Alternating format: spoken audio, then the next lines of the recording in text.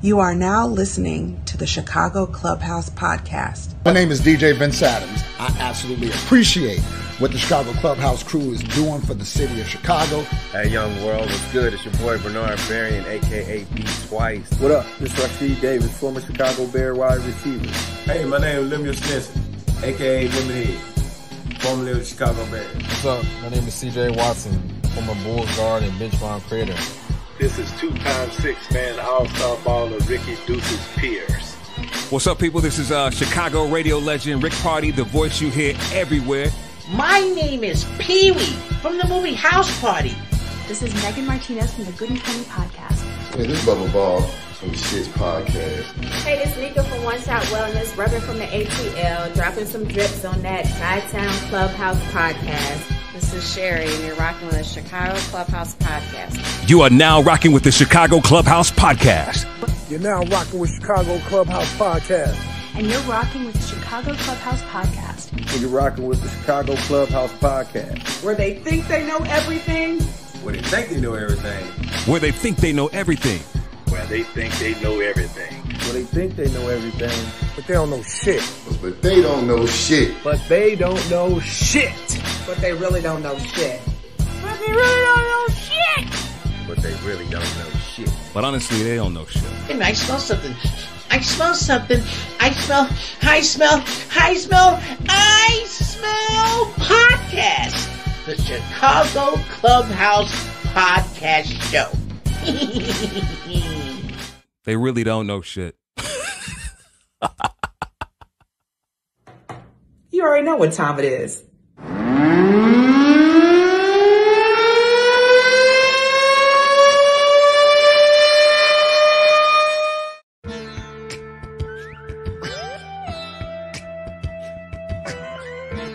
You see this Eddie Jackson jersey right here? Take this. This just took my soul. So, so I didn't I didn't like playing with Brett Favre at all. You could have waited until the draft if you wanted to look at another quarterback. You didn't have to sign Andy Dalton, who is really nothing but a backup. Evander Holyfield is 58 years old. What you want to find a 58 year old man? But man, he wants to he wants to keep fighting. Because he want to fight him. okay, it's an exhibition. But yeah, it's an exhibition because you know. This ain't Drago and Apollo Creed, man. Ain't nobody about to. Man, Martin and Tommy Hearns was an exhibition. You saw what happened to Martin. this could hurt.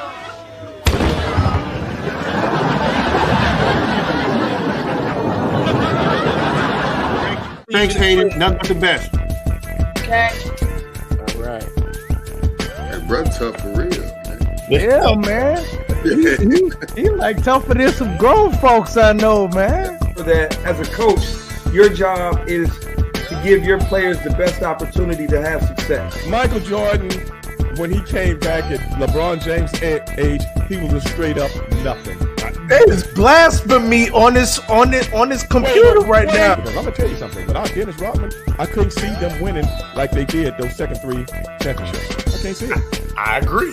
And now I'm the voice of Sports Center on ESPN. Now on Sports Center tonight, LeBron James and whatever. Do you guys really coach how exactly to tackle correctly? Because I see it all over the league now. People cannot tackle like they did whenever you guys played. But do you guys practice tackling at all?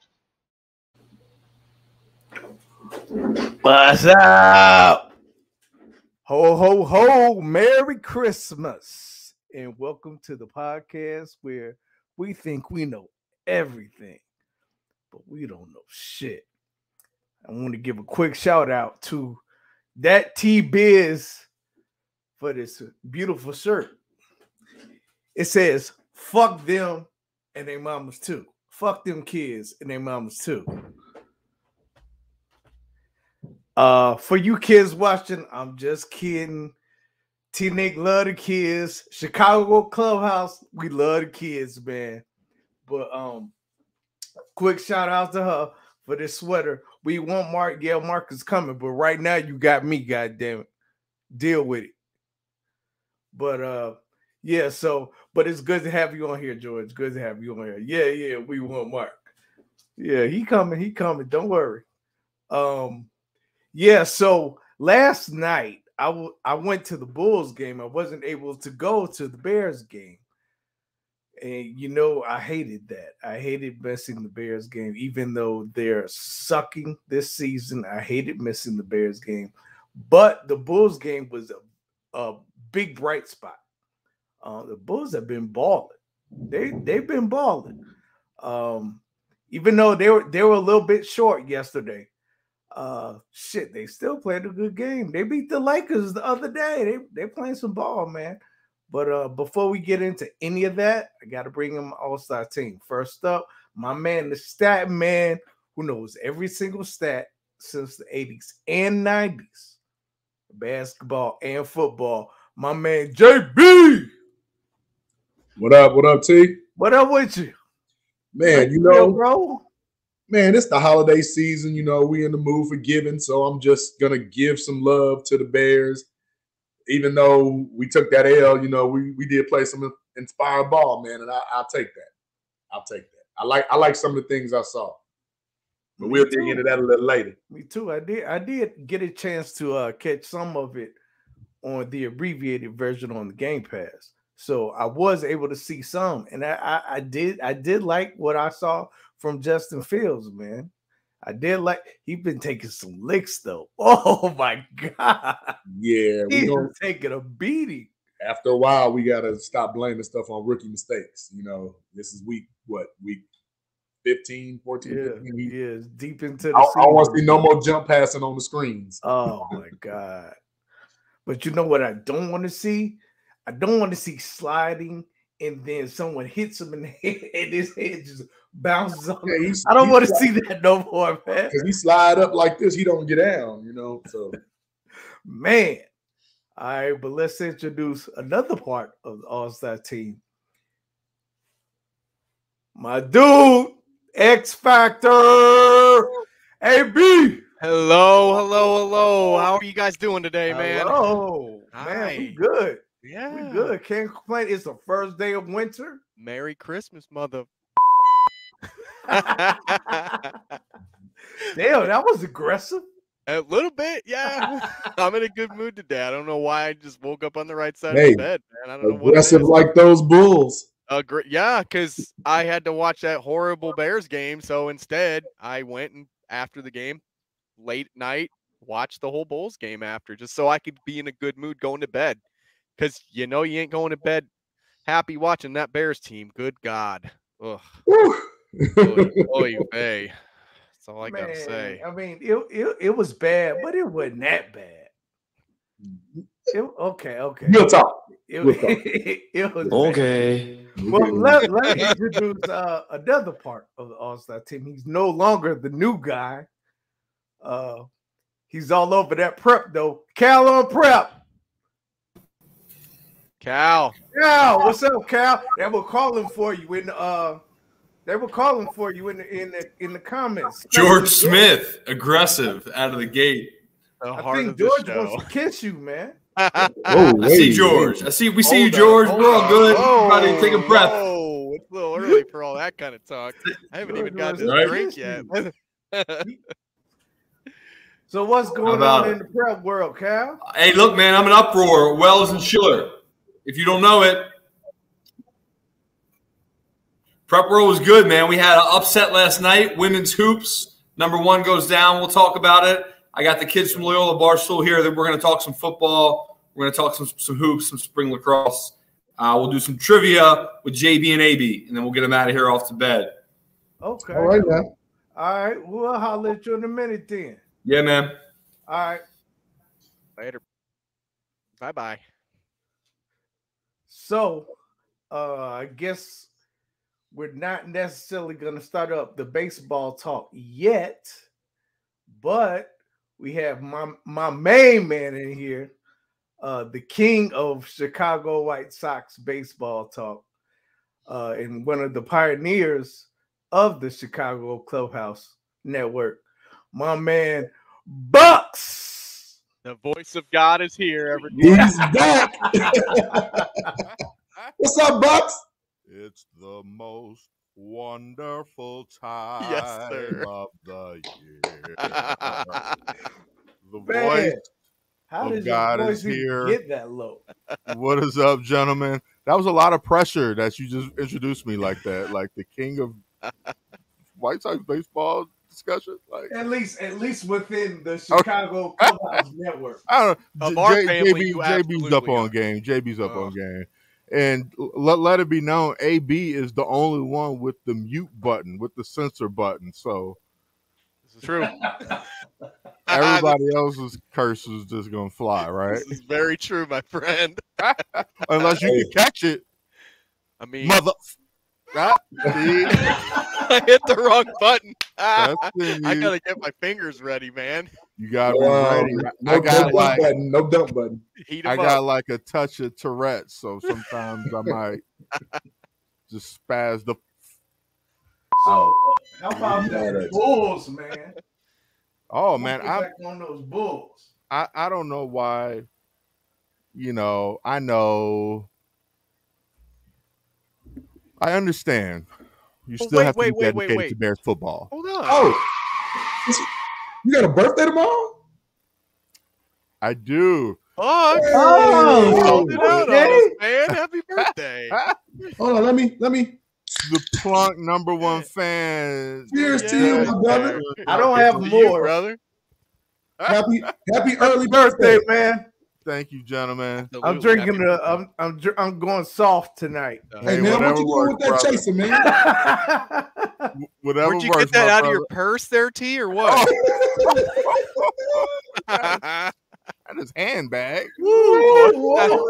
He's got a fanny pack on now, or what, man? Says the man that takes bubble baths with with lavender calen- uh, candles. You damn right. lavender candles Yep. and bubble baths. Hey, and you look, got nerve to Throw throw lavender rocks. in that bathtub while you're at it, man. I You love got that nerve to throw rocks out of your Ain't- glass house. Get ain't- your ass out of There's here. nothing wrong with the little relaxation. There's No, that sounds good to me, but but I again, love it. Hey, look, I got no problem. chaser, I T? got no problem with with with Seagram's wine coolers, uh, bubble baths, all of that. You know, at this at our at our age, you know, it's about you know self care, brother. You know, Well, it, it is a girly drink, but It is a girly you know, drink, Fuck Melissa. out of here, it's Melissa. Tuesday. It's Tuesday. in Maybe my my man day, got to work tomorrow or something. So in like, my day, that was Kool Aid. So Right. yeah, with vodka. That's the warm up. Look, Kool Aid with some cheap vodka in it. But I don't know why. Look, I'm here to drop a bomb. I don't know why y'all are wasting your time watching the Bears anymore. I'm sorry. Damn. we Well, we have the not wrong. Chicago Bulls Yes, sir. to talk Hey, about. absolutely. absolutely. I know, I know. I wish we could have both. I wish we could have both. I It's wish we coming. could have. It's coming. It's coming. It's coming. Well, It- you're right. You're hey. right. It's coming. Actually, we're gonna have all three. Okay. White Sox. Bulls, Bears. I don't know. I mean, I, you know, I, I love, I love, I love the Bears. I love the Bears more than the NFL.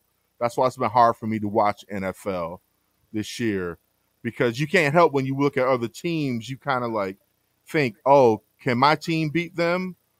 Or and then no matter what game I look at, I'm like, well, no, my team can't beat them. They can't beat them. They could beat them, but they probably won't. You know, it's just it's so disheartening. You know what I'm saying? Like, That Man. sounds so familiar to me. I'm like, well, maybe Justin will break out this game. Oh no, he won't. Well, damn, maybe like, the defense will come back they- to normal. Oh no, they won't. I, I'm sorry, I'm not. I, I don't know shit. Let's take it back old school. I don't know shit. You know what I mean? But like, man, at this point, why don't they just let the boy just fly? Like, like the up tempo offense. Just just let him get in the rhythm and play. But once again, we're in week 14, 15, 15. and Nagy is still out there trying to concoct and think his way into a victory and let's let's run this play now like instead of just at this point let the boy get some reps let him get a you know get I get say at this point, going and just play some football just play some football. At this point, open it up, see what the kid can do. You know, let, let, let the kid just play some football. Like Nagy, you're out of there. Yeah, we already know what your playbook is about. Yeah, well, But and one thing about too. one I mean- thing about Nagy though, I did see last night him running around yelling like a madman, like he knew he was about to lose his job. That's because the referee job in that game was hot garbage Oh, at, really? at best. Oh my god! I mean, on both sides of the ball, across the entire game span, it was hot garbage. Bad calls all over the place, late hits, um, other players getting knocked down, and the Bears intercepting a ball that was really a hold. Brought, I mean, literally, basically tackled a guy, and then one of our guys caught the ball because there was no one else around and no call there. I mean, holding calls. You could you could go down the line. I mean, it it was a hot garbage game this. for us, them, and the refs. The whole damn I game. know I know they do this with the broadcasting teams, like when it's like a bad game. Yeah. They put like the B and C teams. Do you think they do that with the refs now? Like Well, I don't even. I think think yes and no CG. because when you hear certain referee teams, they'll tell you, "Hey, this is a referee crew that calls a bunch of holding, or this is a referee crew that's known for letting you play aggressive." So it's known coming in that that there's tendencies. Now, I have a problem with that because if we're playing straight up between the white lines, every call should be even for both sides. There shouldn't be one or or the other And it's like, well, this guy throws a lot more holding calls. No, play by the letter of the law, the rules of the book. That's it. That's all. That's Either like do it baseball, don't. a guy like Joe West be calling the worst balls and strikes, but then it's like that's what he does. You know? I mean, and a guy like Angel Hernandez, who's just a, mm-hmm. a POS, like, and thinks he's bigger. He thinks people come to pay to see him, and, I get, and I guess it's across the board. It's always been that way. You know, there's always that human element of the refs and the umpires that, and the controversy that comes along with them. Um, I don't know. Like, you know, I don't think a bad referee crew makes a team worse than what they are. Like we have a bad football team. Yeah. I don't think a, re- a bad referee crew is like I mean, it shouldn't dictate the game, I, yeah. Emilio, but there's a lot of aspects on both sides you. that you could say you. that, you know, that this call and this call and this call were right. This game, this outcome really could be 100% different. But you Mm-hmm. can't go into every game thinking like that just like you said. You you've you can't use that as an excuse because there were many other plays, red zone opportunities that they just shot themselves in the foot over and over again. And mm-hmm. all it is, it's just bad discipline. It's, you know, a lack of leadership at this point for me. It's nobody's really taking the reins. One of the massive things I noticed last night, and there were people on both sides of this argument. My guy, Teven Jenkins, running over whenever Justin Fields gets knocked on his ass. You go look at that photo. There's one bear in that group of three or four Vikings offensive linemen, and he's Yes. standing up to all, or sorry, not offensive linemen, the defensive linemen, and he's standing up to all of them by himself. He's fighting for his quarterback. You don't see that anywhere else. You don't see anyone doing that. I see guys like Jaylon Johnson, a young, very, very, very good corner. He was calling out his team last week, saying that, oh, you know, we've got a whole bunch of guys that have quit. We've got a bunch of guys that haven't quit yet. He's Mhm. trying to be a leader. You got guys like Teven on the offense who are trying to be leaders. You got guys like David Montgomery who are trying to be leaders. So at least some of these young guys are trying to pick up the pieces and trying to move forward, knowing that they're going to be here next year, knowing that they want it to change. Thank God Exactly. for people like that. Because Tho- those are the guys who are still playing because they, They are. are. playing for a job for next year. yeah, and But unfortunately, last there's night, so many guys who are like, "Oh, I'm out of here." Yeah, A Rod. So they but- but checked see, out. I think that speaks a lot to the culture too, guys, because if you got your rookies, your first and second year players that are actually still dialed in, that's who you want to build the team around. Damn right. Damn you don't right. want to build the team around somebody that's going through the motions, whether they're in their contract year or not. Yeah. Exactly. You know, because because as as our friend Ward Coleman always tells us, when you get towards the end of the season and you out of it, you're automatically auditioning for your next spot. If not, Correct. the spot Correct. on the team, but another team in general. Correct. So we already get, the, you know, that that's a mainstay as far as the locker room goes. But for me, to see that man, he had had three at that time. I think he had three or four like false penalties and a hold, whatever. And he still was like, "No, let's go. You're not gonna treat my quarterback like that." He pointed to the ref and was like, "You full of shit." Then he went to I forgot the guy. He's the one that got the um, strip The fumble on Justin. Yeah. Um, Sheldon Richardson. Sheldon. Richardson. Yeah. got in his face. Although you know they Yeah. always catch the retaliator. Wait 'cause a minute. Sheldon kinda Teven, snuck Teven something did all this? Yes. Oh, yeah. He was the only one who came to only one. Only one out of all of them. Yeah. Only one out of all of them. And, and then, Protect your and then goddamn quarterback. absolutely. Now, God now let me give you the bad on that though, because And then a Fetty, that's what I was gonna say. Oh, I can't. he runs over Terrence and literally starts yelling at his guy Teven, yelling at him about it. Instead of getting up and helping his teammate, he's yelling at him about what he did and shoved him. And I'm like, get the hell out of here. What? He just got back. He just literally got Wait back. a minute. He hasn't been He shit for two off years. garbage truck telling exactly. this dude what to and then do. he's telling him how to act. And he's how only be a playing pro. about a guy on his way out the door. I mean, Damn he's got a foot and a Dude, half. out A the Yes. foot and a half, his bags, his that, all of it. And the only reason he's Yeah. playing is because Larry Borom was on the COVID protocol. Yep. Exactly. He don't even want to be out there. him. No. We would never even seen the Ifedi. Like, why? And then Yeah, for him why? to, you know, and again, I can't wait till you know we're we're not always privy to that information, but when the referees go through those, those game tapes, they used to do like the the uh, last four minutes of the game and stuff like that. They're gonna see that they missed that call on Richardson first because he actually took a sucker punch at uh, Jenkins first. Then he came in, and then he got you know they always get the retaliator, never the instigator. So Always. that'll be a lesson learned for the big. But I'm like, hey, if at any time I'm not mad at a 15 yard penalty, it's that time. I wasn't mad at it all. Plus, it was only half the distance, so it really wasn't a true 15. But that's another story. True. So why don't we pick up this football talk later? Because our guest is here, charged up. But what I'm gonna do, I'm gonna, I'm gonna, I'm gonna default bow out to my man Emilio Bucks, uh, the the uh the moderator of Plunked, which is the actual baseball show. Um, big White Sox guy, like I said before. So I am going to bow out to him. I will be back later. Peace out. All right, bye. He gone. he gone. See Nick. He's going to get another Zinfandel, white Zinfandel. Yeah. Another white dipping.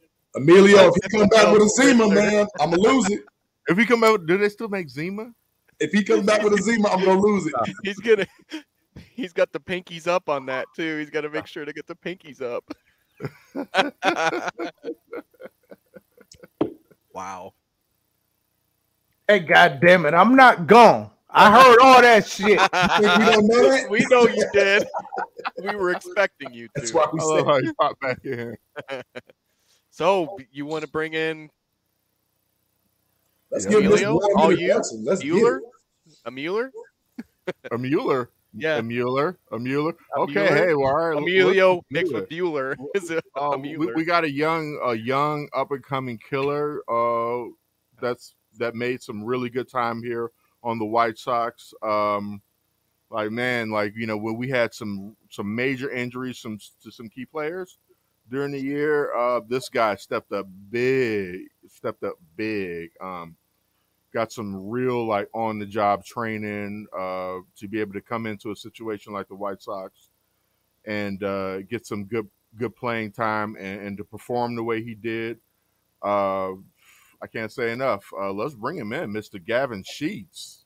Guys, what's going All right, on? all right, all right. Sir, what's up, going guys? on? How you doing, man? Good. How about you? Excellent. Man, thank you. Thank you so much for, for joining us tonight, man. It's a pleasure to have you here. Oh, absolutely. This is this is always fun to be on. So uh, I'm excited to be on. Right on, man. Right on. So, wow, man. So, let me just ask what did you feel like after that last game? Like, and I know, okay, there's obvious like disappointment and all of that, but like, what did it spark within you, and, and what what was the energy of the clubhouse after you know, frankly, what, what was kind of you know disappointing um, um, the way it ended. You know, I think everybody, the organization, of course, fans had a little bit more hopes uh, for where the team ended up at Yeah. the year. So, wh- what was the vibe like? Yeah, you know, obviously the immediate thing was disappointment. Um, you know, we had such a strong team and we battled through injuries the whole year, but we still had a stacked team. Um, you know, to win the division the way we did, um, to be able to clinch so early. But you know, for us, it was we just wanted to get back. You know, we were already itching to get going again. Um, you know that that crowd, that atmosphere was was second to none. I mean, we we got to play in Houston and and, and do that away series, but then coming back home, it, it wasn't even close. And uh, you know that that was what we all wanted. We just wanted to get back and and and kind of run it back next year. So, you know, obviously disappointment, but um, we're ready to go and do it again.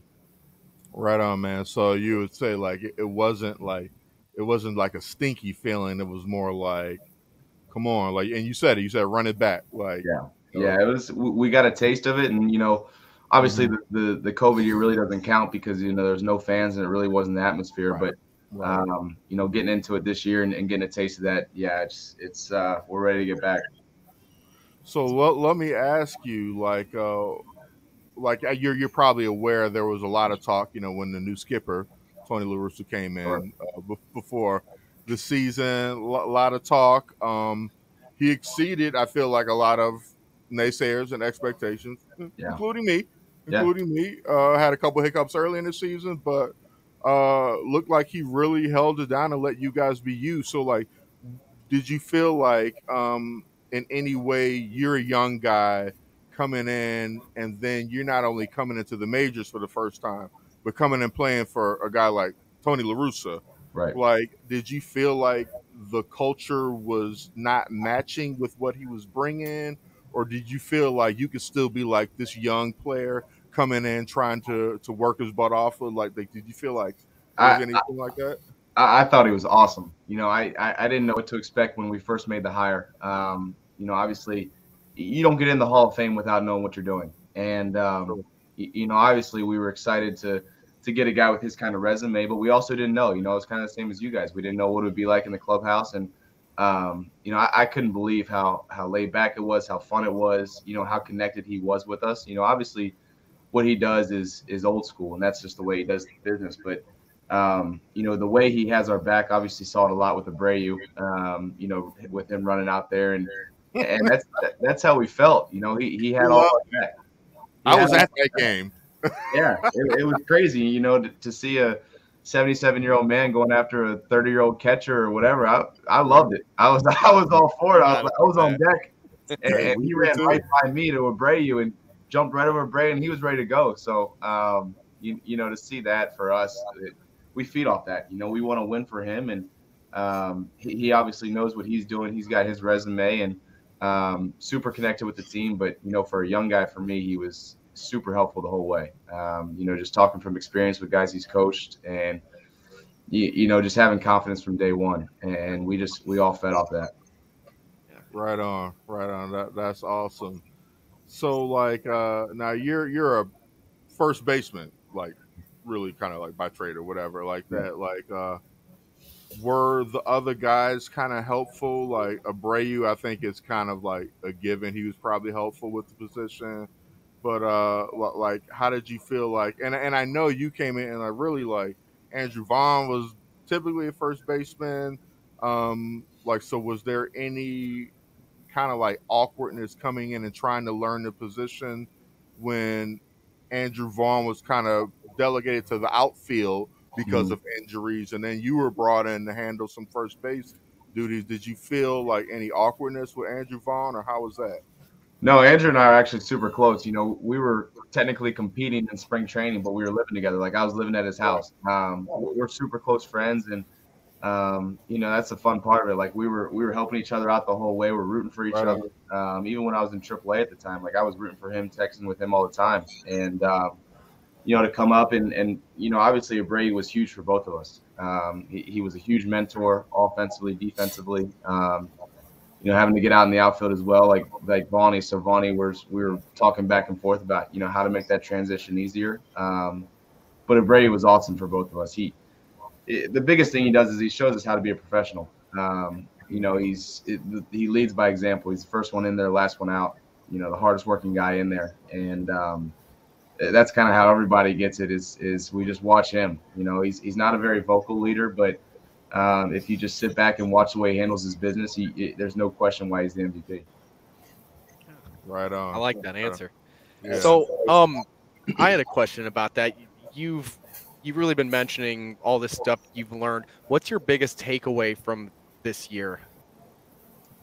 Oof. Uh, There's got to be a lot for you being a rookie coming in. But yeah, I, I think the biggest thing for me personally is that um, you know I belong. I can hang with them because I think that's the biggest thing for a rookie. You know, when you get up there, you you got no idea what to expect. You know, can you can you can you play there? Can you can you stick? Um, so for me, it was it was realizing that I can um, that I can play in the big leagues. So that was the first and foremost biggest thing. Um, and then the next thing was just the amount of work it takes to stay there. Um, you know, everybody wants to get there, and you know when when you make it, it doesn't mean you're going to stay. And um, you, you know, you kind of look around and see the way the guys work. I mean, you see Yasmani Grandal, Ta, Abreu. You just see the way they work day in and day out, and you're like, man, like this is.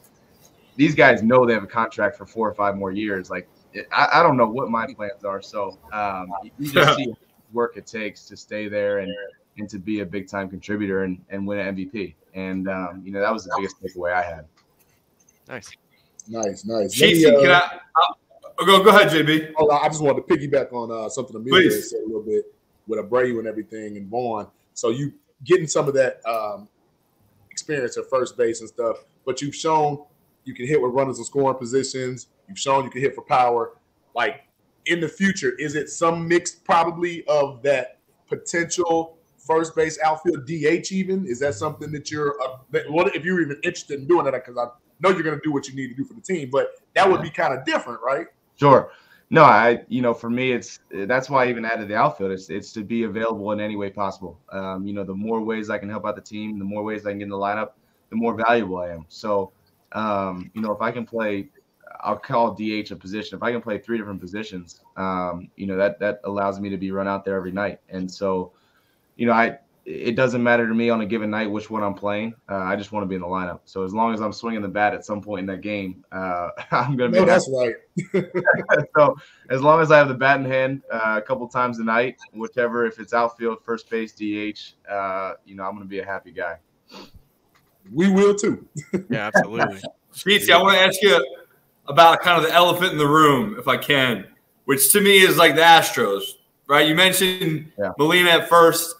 For me, the, the whole playoffs really were about first baseman. Like, how fun was it watching Freddie? Like, obviously, they went, the Astros came through Chicago, they went through Boston, and then Freddie kind of stuck it to him. Like, quite frankly, if you look at the series, doing it in six, how fun was it to watch him and like see him win a first World Series? And more importantly, have the Astros ever won a World Series? Is my question to you. I'll shut up and let you answer. I love it. Uh, you're- you're There's trying that to get me- elephant. You're trying to get me in trouble. Yeah. Uh, I'm No, gonna you don't that- wait for my next question. I'm going to leave that Astros one alone. Uh, I, I think that you know, for Freddie Freeman to win his first one, as soon as we got knocked out, I, I'm a huge Freddie fan. Um, watched him growing up, Yeah. watched him in college. It's I've watched a ton of his video because obviously, you know, first base and left-hand hitter. That's that's the guy you want to be. Um, I mean, he's an absolute stud, and for him to get his first ring, long overdue. Um, you know, obviously this this lockout stuff is tough for him because I want him to get a deal done. I want him to stay in stay in Atlanta. Um, but he deserves everything. Yeah, he's pay the guy. get.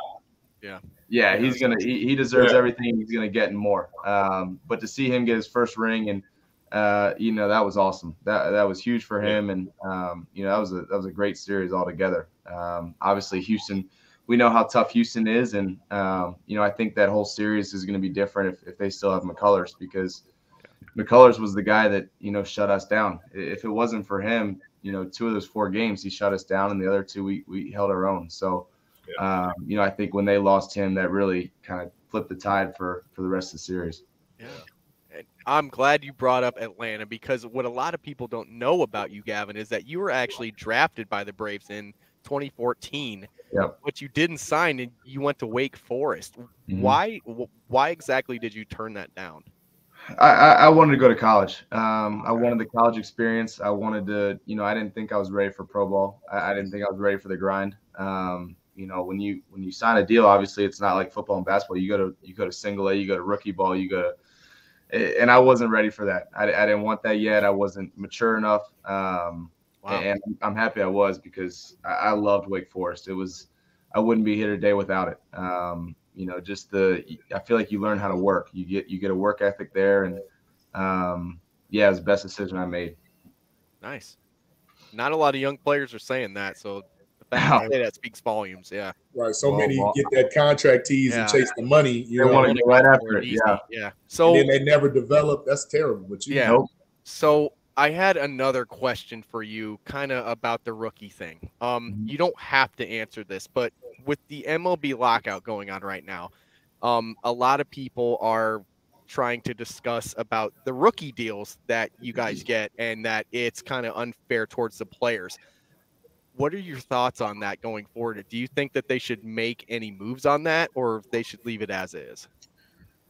Um, you don't have to answer that. Yeah, I, you know, understand kind. Of a, a plain, a plain answer to that. Uh, you know, I think, I think what the the MLB Players Association is doing for us is is what needs to be done. Um, you know, I think they've got our best best interest in heart, and uh, you know, I, I hope I hope the biggest thing I hope an agreement comes soon. Um, you know, I hope I hope there's a spring training. I hope there's a you know, I hope we're there. There's no delays. Um, you know, nobody wants to see a lockout. Nobody wants to see, you know, anything that you know prohibits baseball. And I think that baseball's come a long way, especially through COVID, especially through where we're at. I think this postseason was like the most watched postseason in baseball history. Um, so the last thing I want is to to have any delay, have any you know conflict with the fans or anything. Um, but I do think there needs to be some stuff done, and, and hopefully they can negotiate it, and uh, we can get back on the field and get right back after it. Yeah, absolutely. Absolutely. Was there any truth uh, to some of the rumors going on that this CBA, once the, the strike is over, or the lockout rather is over, that there will be a reduction in games? Is that still on the table? Do you know? Because I've been hearing some circulation about that. I haven't heard that.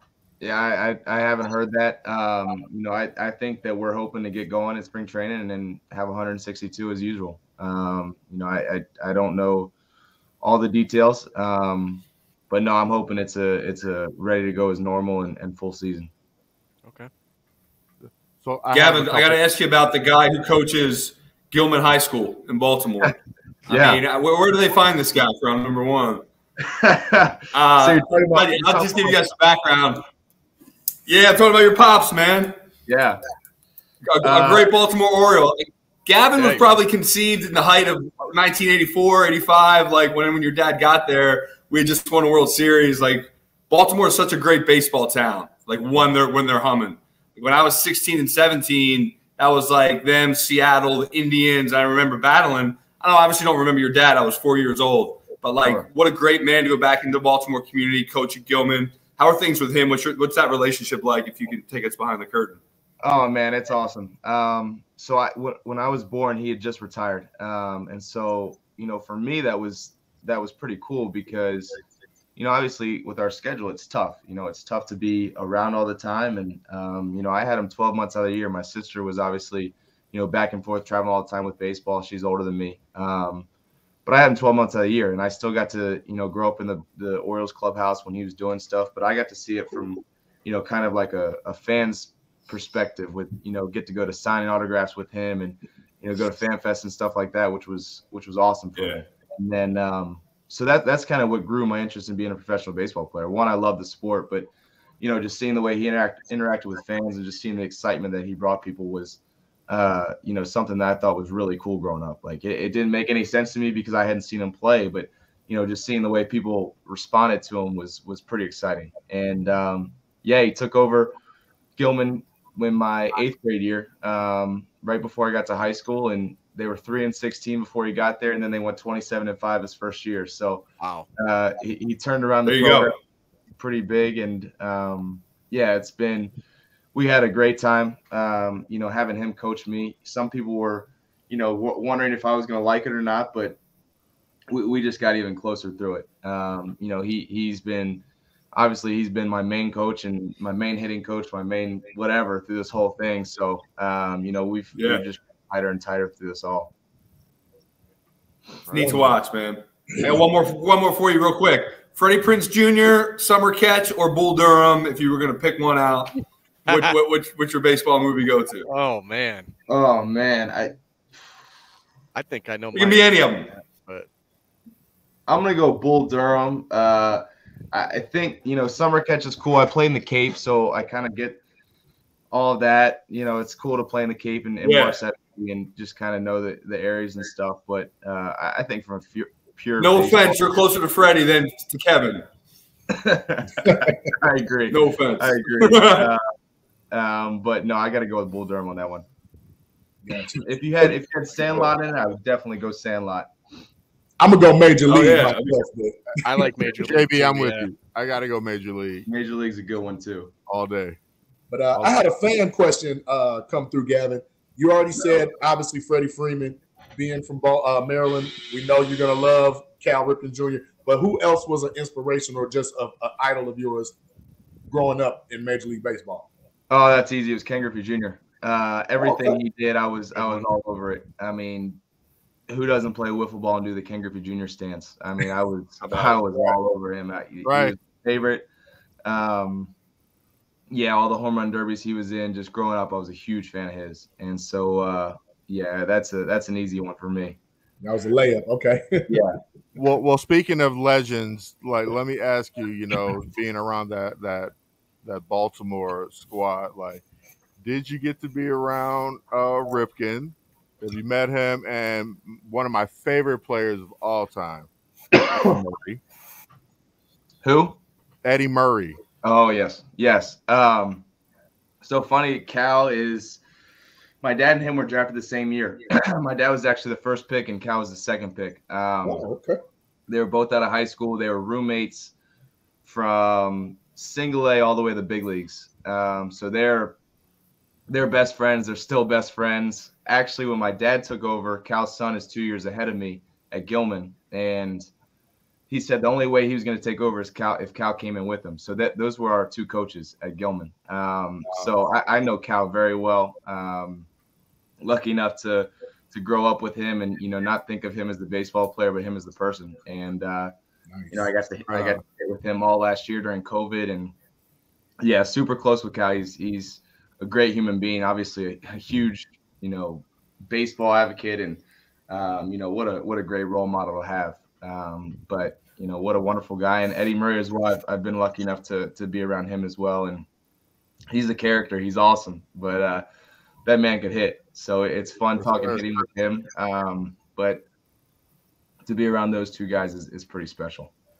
Right on. I, I got a couple. I got an arbitrary question. Who's who's your funniest teammate? Who on this White Sox team is the funniest in the clubhouse? Uh, I got to go with Billy Hamilton on that one. Really? Probably Wow. one of my- Boom. one of my favorite teammates I've ever played with. Um, Really? Right on. He was he was awesome. I mean, just the excitement he had on a day to day basis. You know, he knew his role in the team. Um, Yeah. He just he bought in and was and was a huge team guy. And so uh, much fun to watch him this summer. he was That was awesome. so much I mean, he just he's the perfect team guy. You know, he he was with us the whole way as a young guy. He had my back the whole time, and um, it was awesome. All right, who's the most slovenly? Sloppy. Sloppy. Oh, no. What?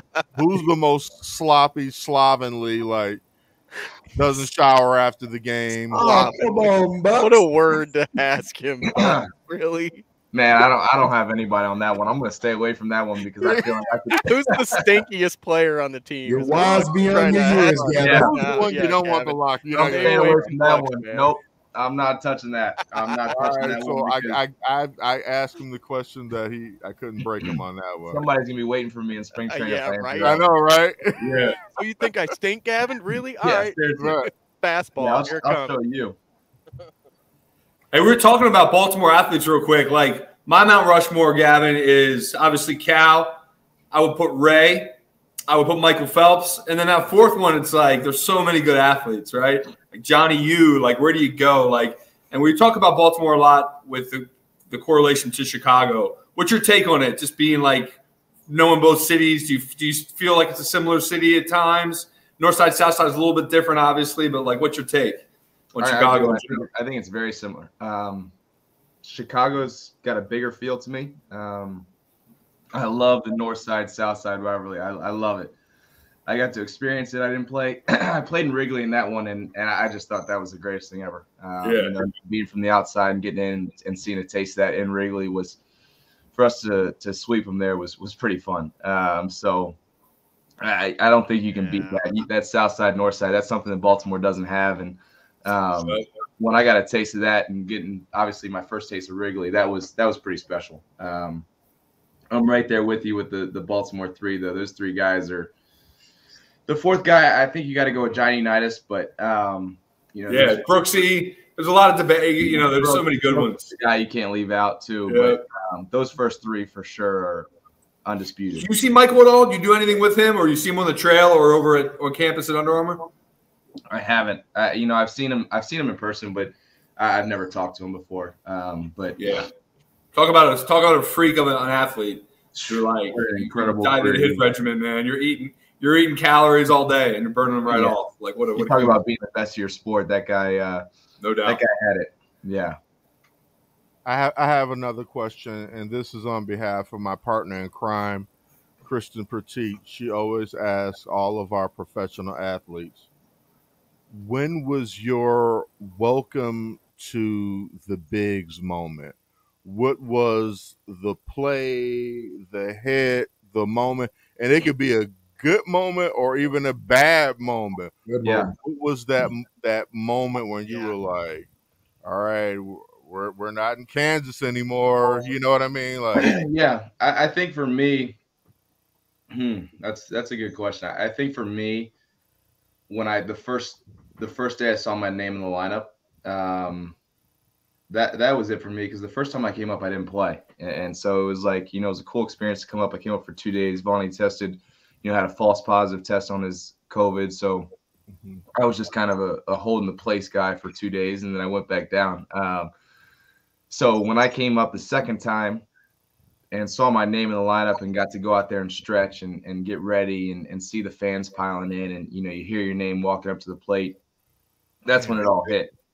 Um, because it didn't it didn't hit the first time I got called up and was sitting in the dugout. Everything it, it didn't hit me. You know, I just felt like kind of a fan that got to sit in the dugout. Um, like I got some VIP pass. yeah. right now. Like, this is cool. This is cool, but this isn't. I haven't made it yet. Like I didn't consider it my debut because you know I got to wear the jersey for two days, but you know I, I didn't step in the box. And so um, you know, hearing my name get called up and walking up to the plate, um, lucky enough to get a hit the first at bat, which was pretty cool. But that that whole that, that whole moment, that was the the kind of I've made it. Um, in a bad way, that the I've made it to the big leagues is like your first your first 0 for 3 game where you have people in your DMs being like, "Don't ever pick up a bat again." That's like, whoa. Oh. it's like, yeah, we didn't we didn't have this in AAA. Like in AAA, you go oh for three, you don't hear for anybody. But Right. You go for three in your first game of the big leagues. It's like, hey, you go back to AAA, don't pick up a bat again. It's like, all right, Right, don't ever- this is right, right, That's proud. Chicago. Jeez. Yeah, wel- welcome to Chicago. I'm gonna try not to go for three again here around here. buddy. I got to tell the quick DM story if I can, man. There's a kid who I, I like used to teach gym on the south side of Chicago. And this kid one day he shoots me a screenshot of, of him and Gavin and says, You got to see this, Cal. Do you know Gavin Sheets? I said, I know who he is. Like, he's a Baltimore guy. Yada, yada, yada. And the screenshot says, Mr. Sheets, thank you so much. The kid bet you guys to win and you to homer. And, and your response was what? he, he said he bet 50 bucks and he won 500 because we won and I homered. And I, I just responded. I saw it. Just responded. Should have bet, should have bet more. Should have bet more. Ah, Uh, yes, sir. So true. And so great. That's changing a little bit though. Like Put it all on black. What'd you say? Yeah, man. It has though. It's changed it. I think I think people are more invested in baseball because it's an analytical game, right? Like you look at it, it's the thing I like to bet the most. We talked about it a little bit, Gavin. Like you know you're going to start on defense at home. And that's like a Ken Burns philosophy. Like, what a crazy game where that's where you start defensively and at first base and how important that is. So, like, that's something for me that I always watch. I'm so impressed with you guys and how you go out with that mindset and that you might have to bat last to win. So it's Sure. like there's not a, there's not a better game for me from an analytical standpoint. Yeah, yeah. To to really quick piggyback onto what you're saying, Cal. Like, yeah, you know, people talk about all of the, the you know favorite metrics on analytics, the new analytics regarding baseball, but I really feel like it's made it more interesting.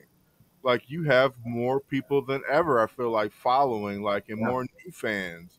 Um, just just those little tidbits, those little interesting facts that, like, I mean, shout out to the you know the research crew for for MLB that comes up with all of that Yeah. stuff. Like I, I enjoy it personally. Like all of the, you know, I mean, runners in scoring position is so like minor compared to some of the other analytics, but Sure. but like, like I, I really enjoy it. Now, as a player, you know, how, do you? How difficult is it to just make sure you don't get too caught up in those numbers as a player and just go because you can look at a sheet and they'll say, "Well, Gavin Sheets in this in this situation is only hitting this," and like, like how do you just like block out some of that and stay focused on just going out there, swinging the bat, yield your glove? Yeah, that's an awesome question because when I first got up, I was shocked at how much information we had. Um, you know, I thought we had a lot of AAA because we, you know, a lot of the same scouting devices. But when I got to the big leagues, I was like, oh my gosh, like this is this is nuts. And at first, I was reading everything. I was looking into everything. I was, you know, my scouting reports went from, you know, what I thought the guy was going to do to, you know, I was just looking at the numbers. Like this is what he's going to do based on the numbers. And almost to a fault. I mean, when I was DHing, you have I like five i- iPads in the dugout, and you can go through your bats. And I was breaking down everything. I was like, and then I got to the point where I was like, this is too much. Like I, I I've never played like this. I can't start doing this now. Like, so I, I was just kind of getting in my mind so much with the numbers, the data, the mechanics. Um, that's when I took a step back, and you know, I watched. I started watching a lot more video, and I started looking at less numbers, just because if I wanted, if I had a bad game, I wanted to have a bad game because it was my plan. I didn't want to have a bad game because the numbers told me that this guy was going to do something. And, and so when I kind of took ownership of that, that's when I started to have more success. Um, Nice. you know, it was less about you know what the number says and more about what I think he's going to do and what my strengths are. And um, that was big for me because you have every data, every scouting metric percent that you want to have, and you can make you. I mean, you can find five different ways to attack a pitcher, um, but only one of them is going to fit you and what your strengths are. And so, when I figured that out and watched a lot of video and figured out what you know what you know if he faced the Astros the week before, I'd see what he threw to Alvarez and Kyle Tucker and those guys, and so then I could get a plan based on you know what I felt he he you know had success with the week before, and you know not necessarily what the numbers said he had success with during the whole season. Excellent. Love that answer. Love that answer, answer, and glad That's a that damn good answer. Especially Yeah. like you said, you still got to play the game. Yeah, exactly. Like I don't want to. I don't want to go home and be sitting there thinking, man, if I wanted, would I probably wouldn't have made that scouting report on my own. I just went by the numbers. Like that's it's your career. It's your it's your numbers. It's it's you don't want to be you know living by a computer the whole time. Yeah. Man, right on, man, because that's crazy. So, what are you working on the most this off season? I mean, obviously, it's it's going to be your first full year in. Um, is there something that you're really trying to key in on for this season? Yeah, I think uh, I, I made a swing change right at the end of the season, kind of like two weeks in, and um, it, it really clicked. And and I just trying to get as consistent as possible with it, um, to have as much success as possible with it. And then, you know, the other thing is just getting acclimated to the outfield. I'm getting as many reps as possible, um, you know, to try to feel more comfortable out there because obviously. Jose Abreu is Jose Abreu. You know, you- you're not kicking him out no matter what you do. Like I could go hit 30 home runs and 100 RBI. Jose Abreu is still going to be the first baseman, and I- and I'm okay with that. That's that's just how it is. He's earned it. He's the MVP. Like he's an unbelievable player. Um, and so my job is to find ways to fit into the lineup. And so you know, if it's the outfield, if it's DH, whatever it is, I want to be able to to to be comfortable in whatever that spot. So my job is just getting acclimated to the outfield and and being ready to go in spring training and and you know making the opening day roster and and being ready to contribute. What was that home run like on on the final day game that you It let off? insane.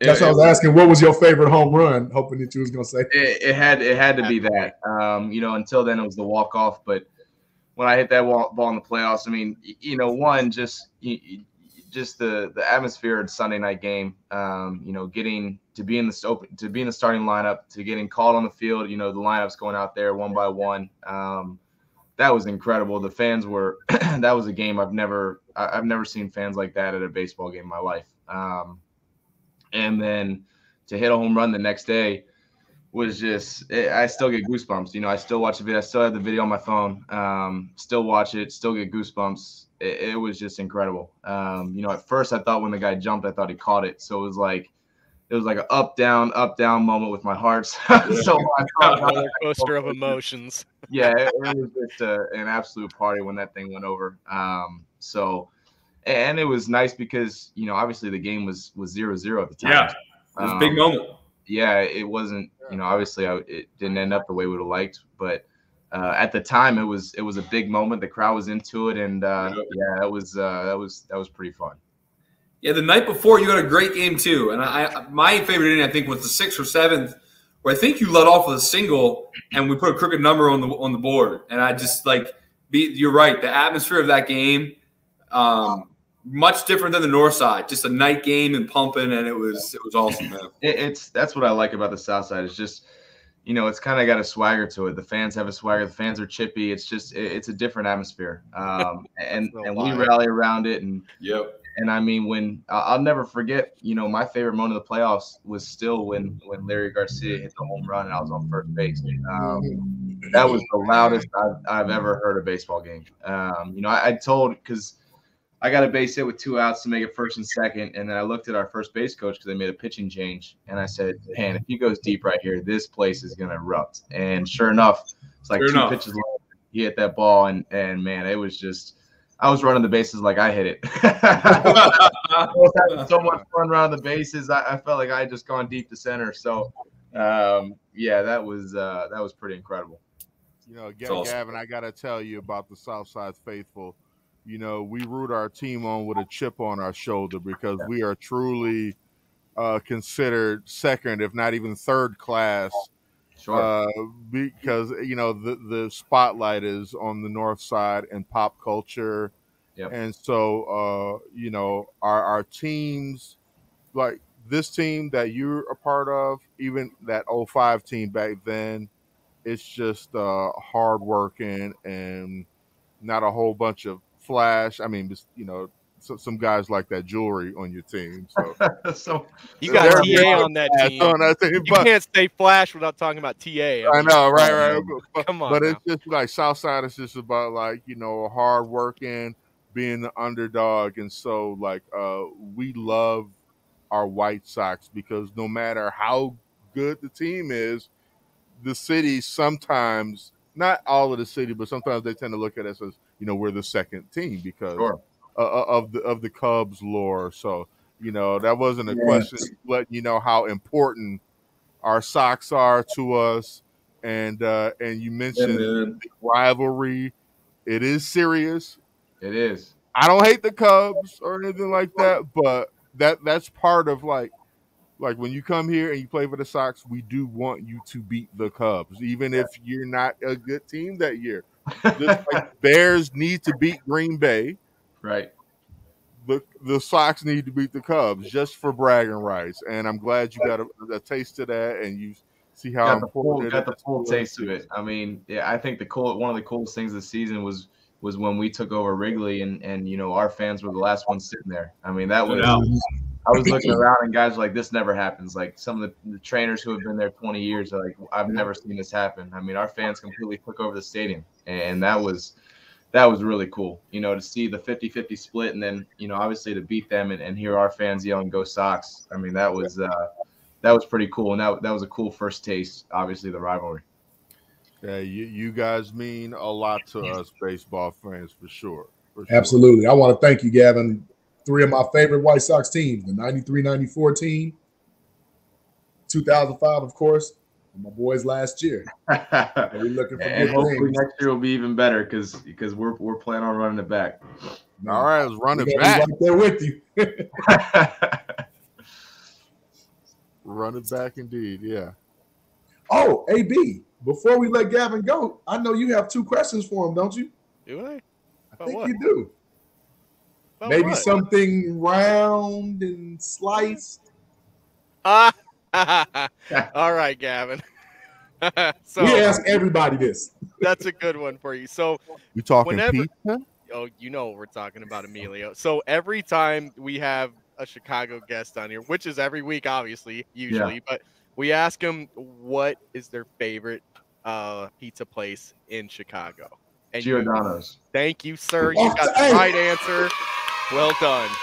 Yep, that's that's Well an easy that's an easy one for me. That was the the first one I had and stuck with it. That's You that's don't have to change after the first one, brother. Hey Trust me. JB, we we gonna we gonna pick Gavin up and bring him out south to a Italian fiesta. Uh, no, Oh, no. hey, I'm gonna go with Gavin Yes. over, over to Giordano's, the place where we know that we get good. Oh no, pizza. no, no, hold on now. Wait a minute. Wait a minute. Wait a minute. That's the spot, sir. No, no Giordano's for deep dish. Italian fiesta for everything else. Oh, That's Trust fair. that's I- I'll You're try it down out. I'm not gonna get pizza there, but I'll every other pizza. No, we we gonna send Yeah. something to the class. This- Trust me, it'll change your life. so. The second one is: Do you have a favorite chicken place? Oof. Not really, actually. Well, you need to Um, get over to Harold's and try some chicken. I'm gonna say Tim never took you to uh to You Harold. never been to Harold's. No, I need. Oh, I, I'm gonna need to hit Harold's next year. you need to. It's Yeah, a for sure. one. Matter of fact, it's one not too far from the stadium. On what is that, Emilio? Like on 43rd, I think it is. It's a Harold's not too far from the stadium. So uh, I I Emilio am- looks. They're ubiquitous in Chicago. You will find the Harold's. Yeah, like, I'm like literally, it's like on people like on 43rd not- and I'm Cottage not or a big chicken guy. Oh, That's gonna be one of my first stops when I get back. There. Bro, I gotta try that out. best chicken in the city. That's what It- Terrace it's keeps good chicken. telling us. If you like chicken, Gavin, it, it, it's a good chicken. Yeah. All I know is I, I didn't have a bad meal in Chicago. I know that. I mean, I could There I, you feel go. like I could eat it at a different Yeah, place. man. Oh, Hey, man. what, what did you places. what, what did you keep from your rookie year, like uh souvenir wise? Like So Uh, I got the um, what? I got my first home run ball back, the first hit, and the first Oh, RBI. good. I got those three balls. Um, Nice.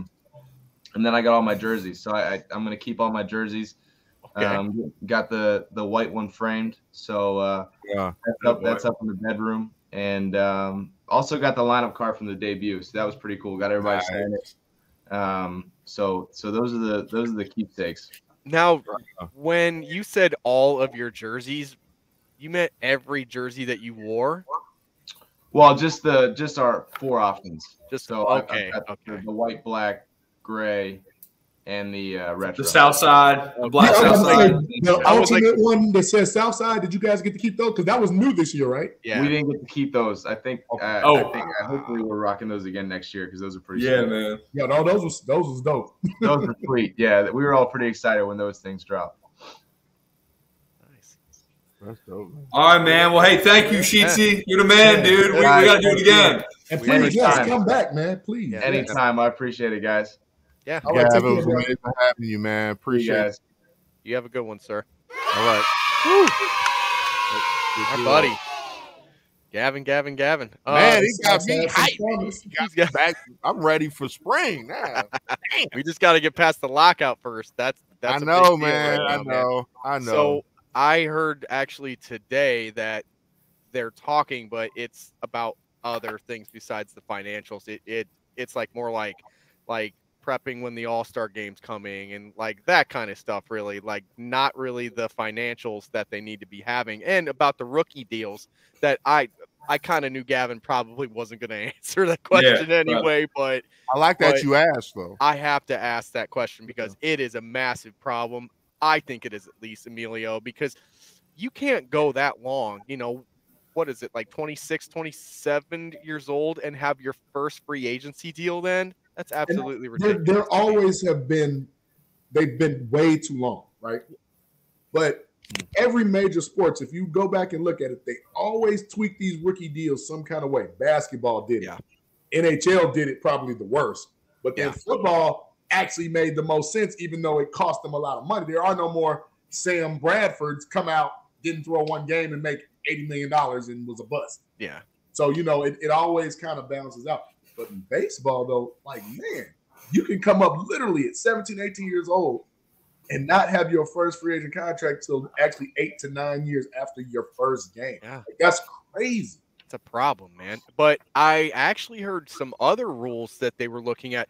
They're actually looking at whenever free agents leave, they might give up um, a pick like they do in the NFL. So we might start seeing the uh, compensatory picks being a thing in baseball now. That's a big change too. I mean, what do you think about that, Emilio? Well, you know, the one thing that when it comes down to with baseball is the is that lack of a salary cap. Yeah. Um, you know, so that you know when we try to compare to other sports like you know the, like the main the big three or whatever like baseball. I mean, uh, basketball, football, like that always that that throws off any comparison that you can make. I like I you you can't completely just follow what the NFL has done or what the NBA has done. But however, with the lack of the salary cap, what we do see is more parity in baseball. We don't Yeah. see only the same teams competing Very true. kind of. You know, they've tried to break away from that recently in the N- in the NBA because I think that's where it got the worst. Well, um, I feel like there's a reason for that though, Emilio, because in baseball, you can get hot at any time. It's not necessarily as star, you know, uh, driven as the NBA is, but you know, having one of the you know lowest salary uh, teams in the league in baseball is obviously, you know, probably better, you know, for us as fans who want to see those small town guys get up and you know win a chip or something like that. You know, like the Tampa Bay Rays, great example. You know, very low budget, they made noise, but when it came down to it, that that star quality kind of took over this year, right? Yeah. Yeah, it's why, Emilio. It's why I think we love like we love Billy Beane, right? We love Moneyball, Oakland Athletics. It's like that's the part I think Emilio was talking about. What we're Yeah. really into. Yeah, but what happened at the end of Moneyball? They never won anything because Right. it wasn't that time. You hit a wall. Analytics can take you so far. And then Correct. just like Gavin kind of said, you can look at analytics all day long, but at the end of the day, you got to get out there and play. Absolutely. like analytics is terrible. But true enough, see, see, it, it goes in, in droves. Like you know, it becomes the hot thing that works until it doesn't. Moneyball worked until it didn't. Yep. It Yeah. went But did it really work? Uh, um, like getting these guys. it worked in the regular season, Emilio, but it, go. it never worked when it mattered most in the postseason. That's what I'm trying to get to. So go back, go back to this, guys, and remember, like you just said, Cal, Moneyball, Billy Beane, he was kind of ahead of his time. He had a bunch of mathematicians. He took a different approach to baseball, right? But then there goes when you're a skipper, and Emilio, you know this. Sometimes you got to go with your gut over those numbers. You see how a Yeah. guy's playing. You see how a guy's walking, how he's moving. Fill it out, man. Fill out the line card and let him play. Forget Yeah. the fact what, what is what his numbers are in this situation. Look at the bright lights, look at the moment and say, hey, look me in my eyes and tell me you can go out there and produce. Yeah. And if you're not, I mean, I hate to, you know, cross sports, but we do it all the time. The last two weeks, Jim Harbaugh might have cost his team, I'm sorry, John Harbaugh might have cost his team a playoff because the analytics showed that he was supposed to go with this play and that play. Yeah. We we saw that with another coach. Um, I forgot who that was. That just said uh about the analytics and they lost, uh, and they're going to keep going for it on fourth down. When you're leaving points on the board, Yeah. you know, sometimes you just have to play the game and be smart. Look at what's going on. Look at your opponent. You know what I'm saying? Like if I gotta get, if I got, I'm just again, I'm not a head football coach, but if I got Justin Tucker, man, I'm going ahead and kick, and my defense is just Best play kicker lights in out. history. I'm gonna kick. I'm give me these. Give me these points, right? Give me these. This this, this point after. I'm gonna tie it up. And my defense has been killing the last three drives. I'm gonna ride that momentum in the overtime and try to win this thing. Because guess what? It's one thing to stop it when you don't know it's coming. It's another thing to wait for it to come to you, and then it's like you almost know this is what you got to do to win. Right. That's why I say analytics. Analytics cost Pete Carroll a second Super Bowl. They did. Four downs in a row. You get All he down had with to Sean do was Payton. just- He had to turn around and hand the ball to a monster. That was stupidity. That was a bad call. That wasn't. Well, according to him, he said the analytics showed that on that No, you were stupid. he should have passed. Carroll. Analytics. And guess what? Analytics, my ass. You sh- you foul. I got four downs on the run. Hey, real, real quick, guys. play. Call over to your star and call it a day. Right. Real, I real quick, I, I just want to wrap up the baseball thing. Go ahead, go ahead. Um, um, you know, I don't think analytics are ruining the game. They've changed the game and they improved the game. Any Cubs fans out there, your Cubs won a World Series based on We did. getting guys to so We did. It's not an analytics bashing party like but with anything it works until it doesn't until you take it too far. Yep. but hey guys i just want to say i appreciate being here. I had a great time. Hey, good to see you again, Bucks, man. We love having you, Bucks. Suffering through this bear season i'm enjoying the bulls but the bears are just unwatchable. I love them go Yeah. chicago but just, just to talk about my white sox again here in december the day before my birthday hey guys been a pleasure let's hand it over to cal he's got his guys coming in and, You're the man, Emilio. that info Emilio, please do not be a stranger. If if you are frustrated, you're more than welcome to come up and always chop it with us anytime, man. Oh, all right you got it 100%. man All you right. got it man all right you All right, guys Cal. well. All, right, it's all, on you. all right, guys. We're All right, out. Mr. Bucks, you guys gonna hang out? We're out until you're ready for us. All right, come on in whenever. Like whenever you want. We're gonna just talk a little bit of football. We're gonna talk a little bit of social media. We're gonna talk about what this like this, these platforms mean for these kids right now.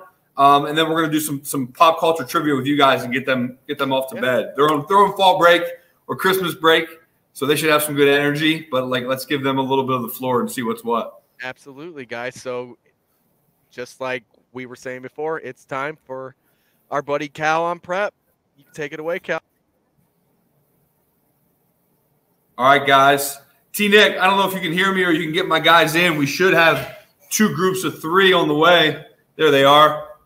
Two, four, seven. Yeah, we're ready. We're ready. How we doing, Cal? There they are, the fellas. We got three up top. How are we, guys? We're doing well. We're glad to be here. Good. Talk to me about break. What's going on? You guys are done? Yeah, we're we're finished up finals, and you know we're ready to go. Our mind's been on this podcast for a while, so uh, Okay. get going.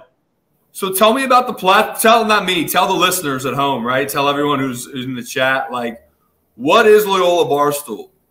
What are you guys doing? What are you covering? What are you talking about? Yeah, here's the thing. Plot twist. We don't actually run Loyola Barstool. The founder, he Okay.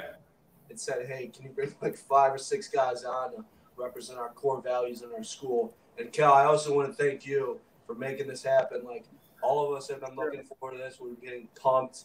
You know, I feel like we're kind of celebrities now in school. Like I, the other day, like one of the last days before break, I was like, I was in the student center.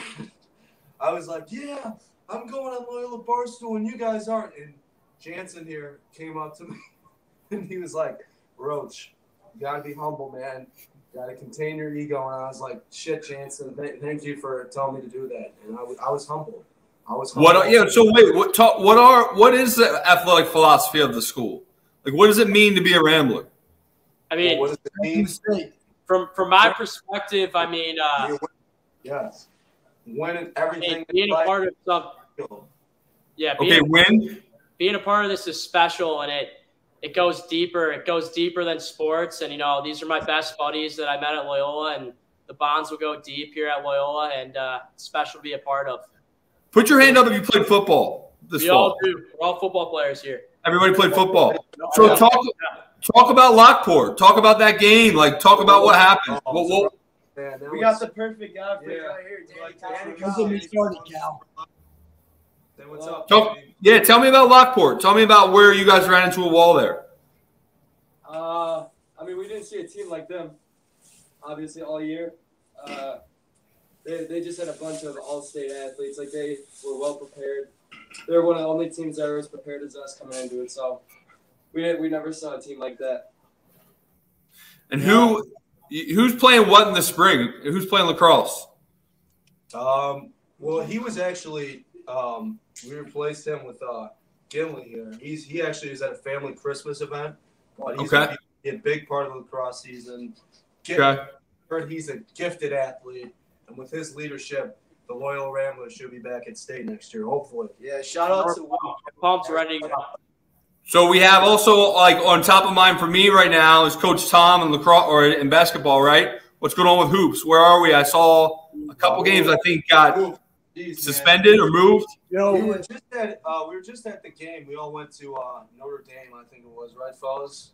Yeah, yeah. Yeah. And it was, No- no- was Notre Dame? And I- I'm telling you, the, the atmosphere in that building was electric. Like Yeah. there was war, I would like to say. Like it was a tough end, but the fellas played really well, and um, um, we're looking forward to the next one. Yeah, it seems like it seems like every game is getting student sections are becoming bigger, right? And it's like you guys have a responsibility right now, Jack. Like you have a responsibility to represent like the school, right? In like the in the in the right way. Great responsibility. That's Yeah, right. um, and I you do know, think, uh, the, the, the one thing is we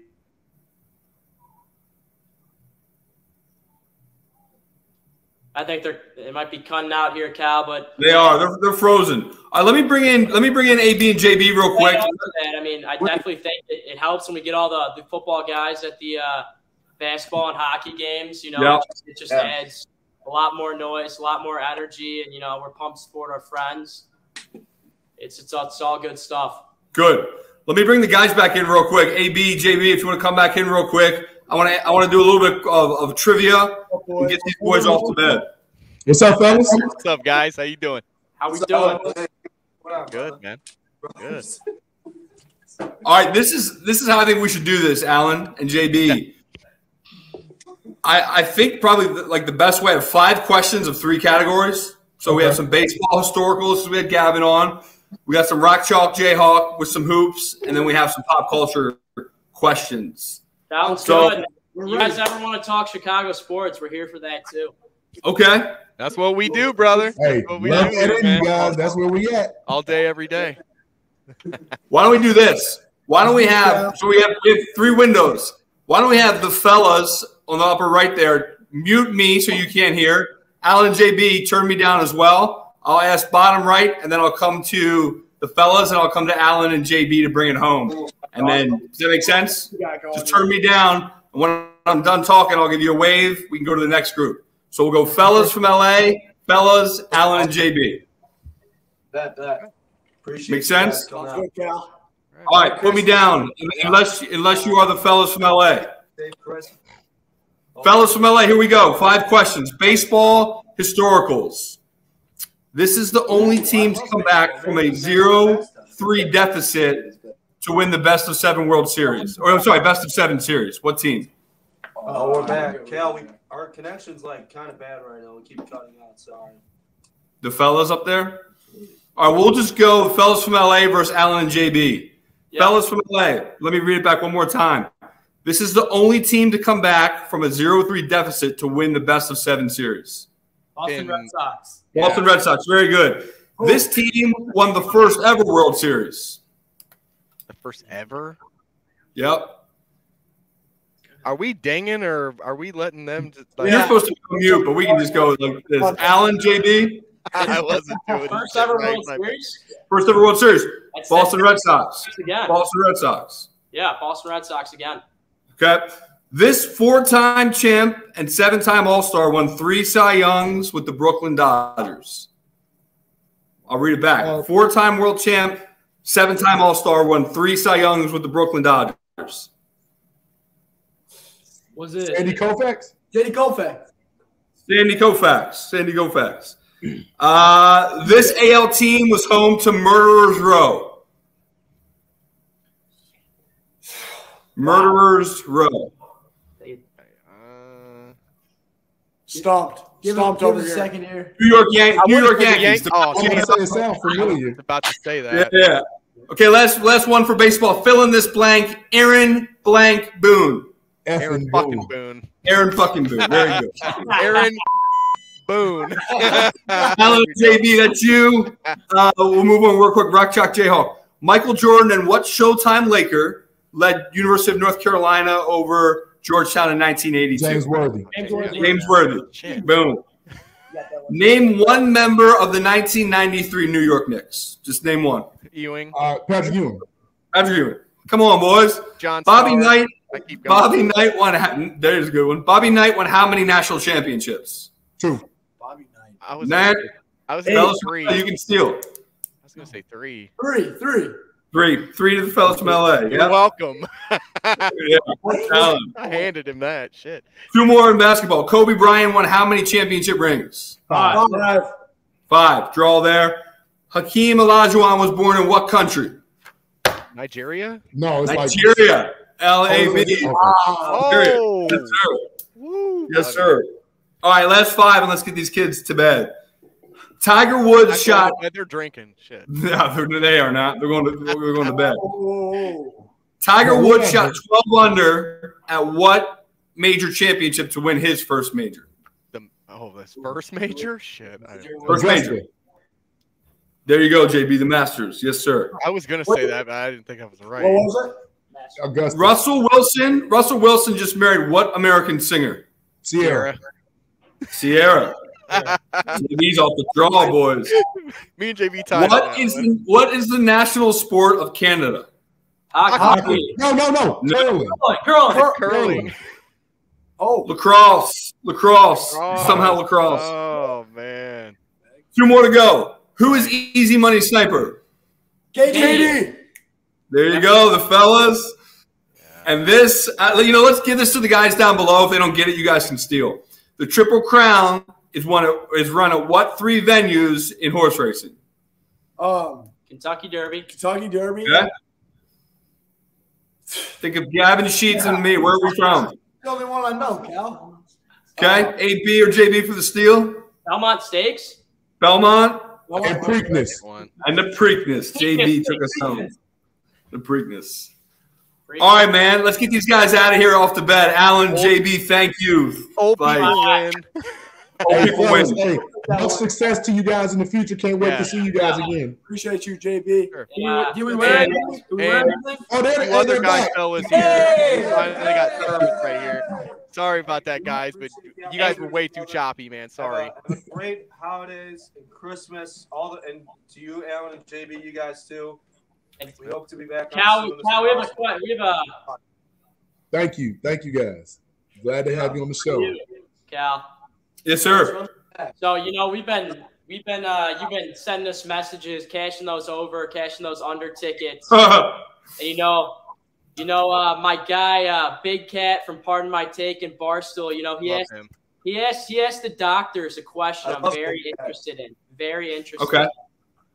He said, uh, "Does the vaccine have any Oh. effect on sports gambling abilities?" I mean, I'll just give you a few guys I know on a fucking heater, you know, on a tear. Pfizer goes into the left shoulder, it all turns into a dumpster fire. Oh, shit show. Absolute shit show. We want to I- know. We want to know your take on that. Does the vaccine have anything anything to do with you know decision making and, and stuff like that? The, the only thing it enables you to do is think more clearly, which is to save your money. So put your money away and don't uh, worry about what me. A, although myself, AB, and JB were all on the Vikings in the under. I believe we all gave it out. It all came Yeah. in. Yeah, I mean, Put yeah. your money away. But it, it is the most wonderful time of the year in bowl season. Uh, I don't know. Stay tuned for for Alan. Alan's been hot. I got receipts from from AB that he's been out How the about window. that Bears game though? I mean, just what, Harry, Harry, that's what we need to talk to. Harry. Now I got a I got a question. Bowl season or March Madness? Bowl season. bowl season. Well, I don't know. You know what? Well, March Madness for me. It's got Yeah. to Me too. It's got to Yeah, be March March Madness. Madness. Yeah, a hundred percent March uh, Madness. Yeah, I, I got Great. Oh, like I'm sorry, like I don't need to see the potted soil bowl. Yeah, You know, there's, there's just too many darlings that like upsets too, and like stuff like that. It's, Yeah. it's got to be March Madness. Yeah, nothing beats. Yeah, you're right. Nah. Well, maybe we'll have you guys back in the fall, but until then, put your money or excuse me, we spring. definitely want them back during the season. Absolutely. Yeah, man. Absolutely. 100%. Mark it on your calendars, guys. I mean, are we are we seeing red? That's my last question. Are we seeing red? You know we are. Until the Eastern Conference Finals, yes. You I know mean, we are. We're seeing the Bears. I mean, We're see, we're here. We're here. We're here for the next three months, right? That's our guy. After we win state next year, Cal, we'll come back on. All right, guys. Cal, I was at. Hey, have a good Christmas break. Merry Christmas to your families. Appreciate you guys. Good job. Thank you. See you guys. Yeah. Hey, Cal. Cal, Cal, thank you, brother. Thank you. Kids are hilarious, man. Funny kids, right? Like they're they're into it. And I don't know what Barstool man. Love like. it. Yeah, what a great platform, right? Good for them. Good for them just figuring it out. Absolutely. There's T. Maybe. Maybe T. Is he coming back? Hey, there he is. There he is. we were wondering if you were. I'm coming back. I'm back. There he is. There he is. Like those kids though, But man. a- As to that question, are we seeing red? Hell yeah, we seeing red, man. We got I said until red. the Eastern Conference Finals. Dang. Those dudes are playing. Why? Why we gotta stop there? Why? We, All right, we Cam, don't. go on it right now. Go. Why? Come on. Explain why. So, oh, you want me to do it? Oh, Somebody do. I'm playing the Bulls music for so, you, man. so, so right now, as as ecstatic as we are about the Bulls, they are playing great. They're playing above their minds. We finally got a team that we can root for in Chicago basketball, other than the Chicago Sky. Shout out to the ladies. But realism is still a problem, bro. Milwaukee is still a problem in the playoffs. Yeah. If Kyrie Irving can only play in Chicago, that's a problem, man. Well, That's I a mean, problem. The other Yeah. problem, There's and going to be you name me problems. one The Heat team. are going to be a problem. yeah, like You like name me one team that could be a problem. I I can name named you many teams. Many. I just named three: the the Bucks, Yes. the, the Any Nets, and the team with multiple bigs is going to be a problem with this team. I'm sorry, they are too small inside. They cannot defend against bigger guys, multiple bigs. Not multiple bigs. No. It's a problem. It like if if they have to center in on one guy like they did last night, a Wood, you, you know, that's one thing. But when there's multiple bigs on one team, like Milwaukee's going to have Giannis, they're going to have Boogie Cousins, they're going to have bigs that they're going to be throwing at the Bulls, and the Bulls are not going to be able to. But can't Really that work withstand to that. the Bulls' advantage though? No, it can't. no, because they're athletic bigs. Not in a They're seven-game series. stiff. There's They're not stiff bigs. And remember, in the playoffs, all this cute 87 threes a game back and forth, that doesn't happen in the playoffs. It Shit becomes old school half court, slow it down, easy, get the right bucket basketball. It's Who does just that like we were talking about with baseball. Analytics only go so far, and then after that, what happens, JB? Real ball takes Yeah. over. Real ball. The only thing that's a little bit of, of they're, they're into a look- softer part of their schedule, which is like the one good thing. They go they go back to back with Atlanta. They go to Toronto, Washington, Orlando, Washington again. Those are some winnable games, I think, like We- where you we pick up. The Bulls can finish top five easy. I said at the beginning of the three, year, easy. the best they could finish was third. That's what I thought the best, the And it's- it's absolute still ceiling. three- we said three to six, and that's Yeah. right where they are because right now there's still some trades to be made. Right now, I think I think they're still the number two seed, if I'm not mistaken. Uh, I'd have to go look, but It's, I- it's either two or three. They they haven't fell that far yeah. because New Jersey like went on a little crazy, whatever. But yeah, everybody's kind of five, like sitting around the same marks of whatever they are. Right. 19, But remember, remember, analytically, last year the Phoenix Suns should be the net should be the world champions, but they're not. They're not. The Milwaukee Bucks are. Yeah. Hard nose play by Giannis. Hard nose play by Portis. Hard nose play by PJ Tucker, who's on Miami now. and That just bolsters their roster. how many bigs do the Suns have? Two. Yeah, Two. I well, mean, really one because the other I one mean, don't really play. DeAndre Ayton. Yeah, Right, because I it's- was gonna say they do have basically Frank Kaminsky, but he doesn't play that much. Yeah, so they kind of have the same issue that the Bulls have, except their center's better than what we have. But so I tell you, I saw, I saw a really good stat today. ball, they're supposed exactly to why I keep saying this because I don't see them getting past teams with multiple bigs because all they have is Vooch. They've got to go make a trade. They've got to get another big in here. There's no way they're going to win it. you don't consider Wood a big? We don't I have. Christian Wood. Christian I Woods do. on the Rockets. No, We, no. Uh, we want Christian Wood. Yeah, Damn, no, on. the other Oh, guy that, that, he- that has a similar build to him. Um, You're not talking about um Tony He's talking about Tony Bradley. Tony Bradley. yeah, yeah, Yeah, no. Tony Bradley is a guy. He's not. He's not Christian He's Wood. a dude. space filler. He's not. He's not a Wood. He's not a, a good defensive big. He, I mean, yes, he does get a block or two here or there, but he's, He's not, the kind of guy no. we need. No, I'd rather have He's Daniel Gafford. filler. I'd Like- have Daniel Gafford. I would definitely rather have Daniel Gafford right now, but he's not walking through that door. But right No. now, so look, nah. break break this down, T. You have one missing component of when he comes back, he's playing out of position, which is Patrick Williams, right? Okay. Vooch can give you, just like Christian Wood, a walking double double 23 and 10, 23 and 5, uh, 11, a couple of assists here and there.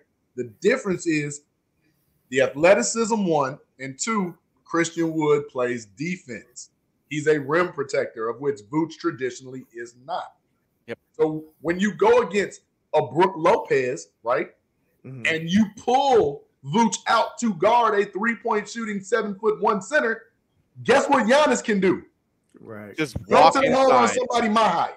Javonte Green is gonna have to guard Six my Giannis height. Six Antetokounmpo. four. That's not gonna work. That's Javonte. Green is not going to be able to contain him. There's no way that happens. So if you don't have him, maybe Patrick Williams comes back in time. I I doubt it, but I don't even think he's going to be ready to guard him. But remember, he's gonna play out of position too, AB, because he's technically a small forward. His Yeah, numbers but- actually drop when he plays the four. I feel like his numbers at the four defensively could hold up enough, but when he's guarding literally the MVP, literally one of the best, one of the best top three, four guys in the world, he's going to have issues, and that's why I don't think they're going to beat them because they don't have a defensive big that can cover They that don't. guy. Then don't. go. Then go to the Nets. What is he gonna do against Kevin Durant? Ugh. Javonte, it's all going to be Javonte. It has to be Javonte. I don't know who else is going to guard him. Patrick Williams is okay, but he can't guard KD. No, he can't. It's got to be Javonte. Like, I think Javante did a good job against the Lakers. I think he held LeBron pretty well. I think he can fill that role. But at the end of the day, just like you said, JB, once those switches come, once that kind of stuff happens where you've got a Brook Lopez or a Boogie Cousins that's running out, he's going to be one on one down low against those guys in the post. That's a problem. LeBron had a lot of that and he passed out of it. Thank, thank. God he did. I remember one play in particular, he's just he's just beating down the door. He had Caruso on him. It- right. He just beating Yeah. down, beating down, and then he turns around. I'm expecting him just to have a nice little layup. He throws it out of bounds. He tries to pass the ball.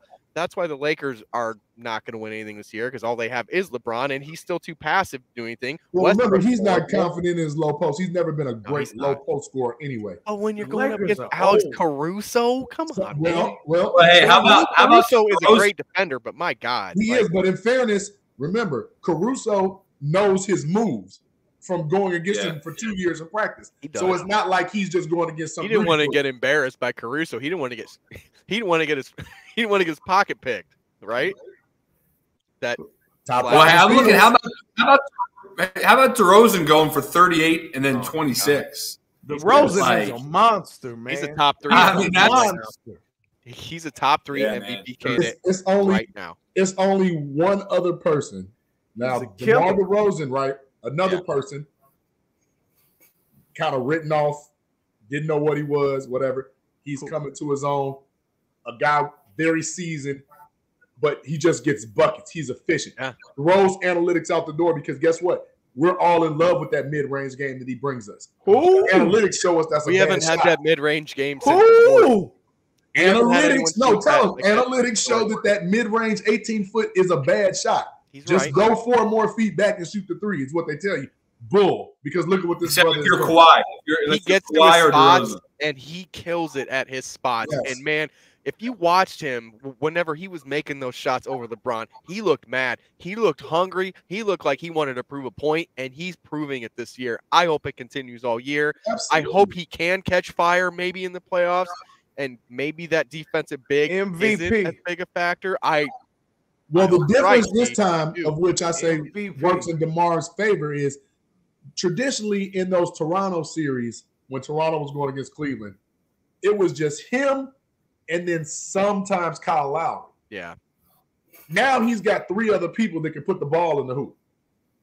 So this could be, like I said, I have them going to the Eastern Conference Finals just off of seeding. Lonzo Right. Ball too. My God, Yeah, man, he played, played well last night. the Uh, way that he changed his shot is doing di- It, every. I love like, his new shot. The Pelicans and the Lakers are probably pissed about not having him on their teams now I, because lo- I love changed. what Io's doing. We talk AB about Yeah. Io all the time.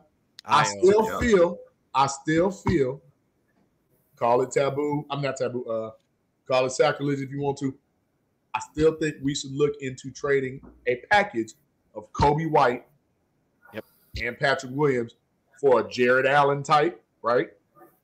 Somebody that's rangy, 6'9, 6'10, 6'11, somewhere in that caliber, that can defend, has a nice little mid-range game because when it comes down to the to the playoffs, you know, you need those. You need those Yeah. rim protecting people. Um, we talked about Marvin Bagley. I don't know Yep. what Sacramento's doing, but guess what? We'll take him. We'll definitely take him.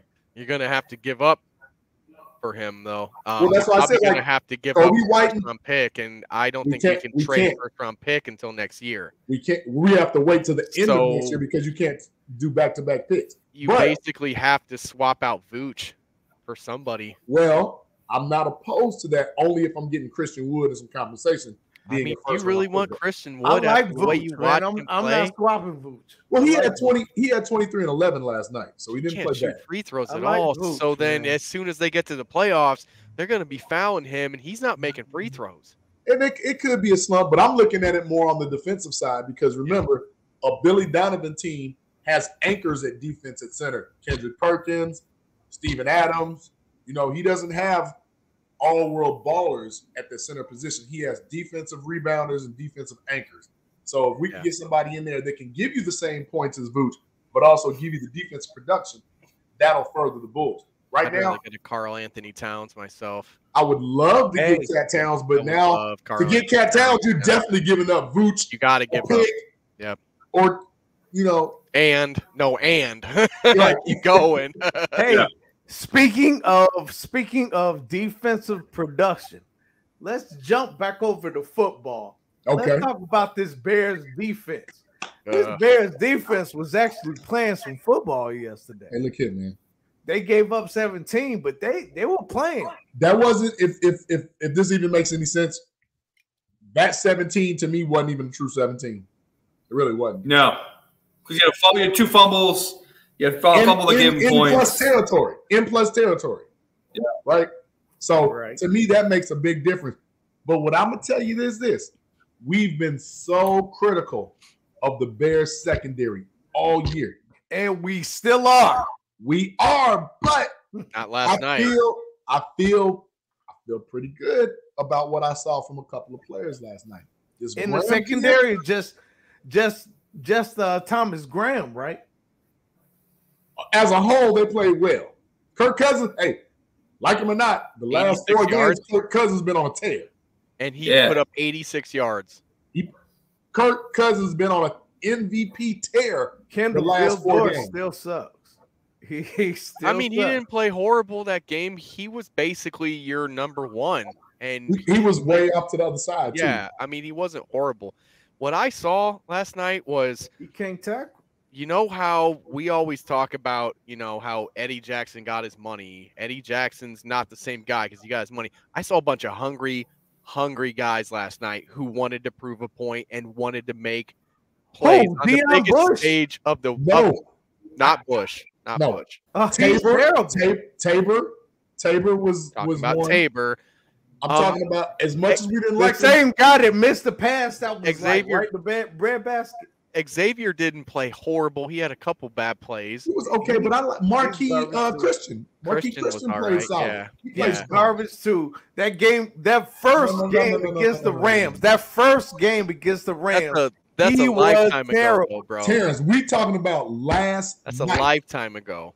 only.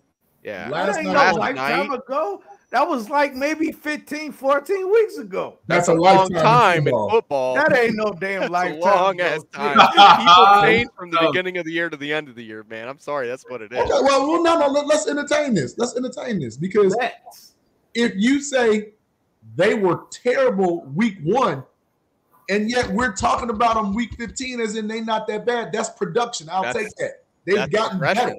Dude, Progression, not production. progression. Everybody has a birthday. No, Everybody has a birthday. He's birthday. progressed to be better. I'm not saying he's a world. Christian has been terrible in more than one game. So Yeah, now he he has a good game. All of a sudden, he's I wouldn't he's even say progressing. he had a great Get game. He outta had, here. he had what did like I an say? Said- average look, type I said he played solid. Yeah, he played like, solid. He had Graham had now all game. of a sudden he he's decent. He's mm-hmm. progressing. Graham, decent. Hey, listen, listen, I, listen. I'd say he's a four at best Hey, Terrence, right now, maybe a five. listen and listen well. I'm not mad at you for being overly critical. I'm not mad for you being hurt. But last night against a Vikings team who is fighting for their playoff life, fighting for their coach's life, coming off a four game stretch where like Kirk Cousins looking like a world beater, they played well. The defensive line played well. They Alex played well. Ogletree played well. He did. Yeah. He was monstrous. Come And on. I mean, if Yes, you want to keep going on that, JB, Akiem Hicks held Dalvin Cook in there. The Yeah. only time Dalvin Cook got anything was when Hicks was out of the game. And that was, and he still didn't get that much because he only averaged Uh-huh. 2.8 yards a carry. Like, look here. The, Who? if I'm not Who? mistaken, Wait, AB, wait, pull wait, up who? the numbers. Who? The Vikings as a talking about Dalvin whole, no, no, as a whole, they had what, like 187 yards. The As a Bears had 370. As a whole, they had 193 yards. And you're, and you're right. The Bears had 370. So Mr. Dalvin Cook had 89 yards, but he had 28 carries for so that's 3.2 yards a clip. So Not Yeah. enough. he got most of that We'll take whenever Hicks was out. That's what I'm saying about Hicks is that Hicks, I don't know what it is about Dalvin Cook, but Hicks does not like him. You could see it on the field all night. He was chirping at him like crazy. I guess they got a history of That some- dude, that dude, they some, have uh, a I history. tell you what else I like. Woo, They got a history. I tell you what else I like. What's that? Robert Quinn. Another Of sack. course. He wa he was on Kirk Cousins' ass. So, but And, you know why and he was. multiple hurries. Yes. Multiple Why he was. Yes. He was going up against Alex Leather. I didn't see- Also a rookie. I was No, no, listening to the game. It's Christian Darrisaw. Or yeah, sorry, Darasol. Yeah, Yeah, wrong Leatherwood rookie. is- sorry is about on. Raiders, Yeah. What'd you say, Cal? He was killing him. I was saying I was listening to Kevin Harlan call the game, which was like interesting to me because I wasn't watching it. But he, it sounds like it sounded like Justin Jefferson ran a route for that first touchdown that like you weren't going to defend, and like that's who that kid is from LSU. Like, Well, he's a you know what? Deon Bush got put in kind of a bad. He did. He was put in the catch 22 because He because doesn't know how to defend that correctly. He should have been playing back off the ball, but he was. he was should so have been playing outside in. He doesn't Yeah, know yeah. how to defend So- the Cardinal milk correctly. he doesn't know because he's not in the situation enough to know that okay he's got to play back on him because they're going to the corner you Yeah. know you know justin jefferson's going to the corner he's so worried about the curl route in front of him he kind of pulled one of these and he just went right by him Yeah, it sounded like it. Oh, Yeah, Kevin Harlan, man, if you're ever looking to break something up, he, he had Jaws with him. It was a good call. oh yeah yeah But but again, we talking about we talking about Kirk Cousins 86 yards passing. So if he had 86 yards passing, Justin Jefferson, although yes he had a touchdown, he didn't do work against us. and i mean kill that he didn't game's what going he to be normally different does.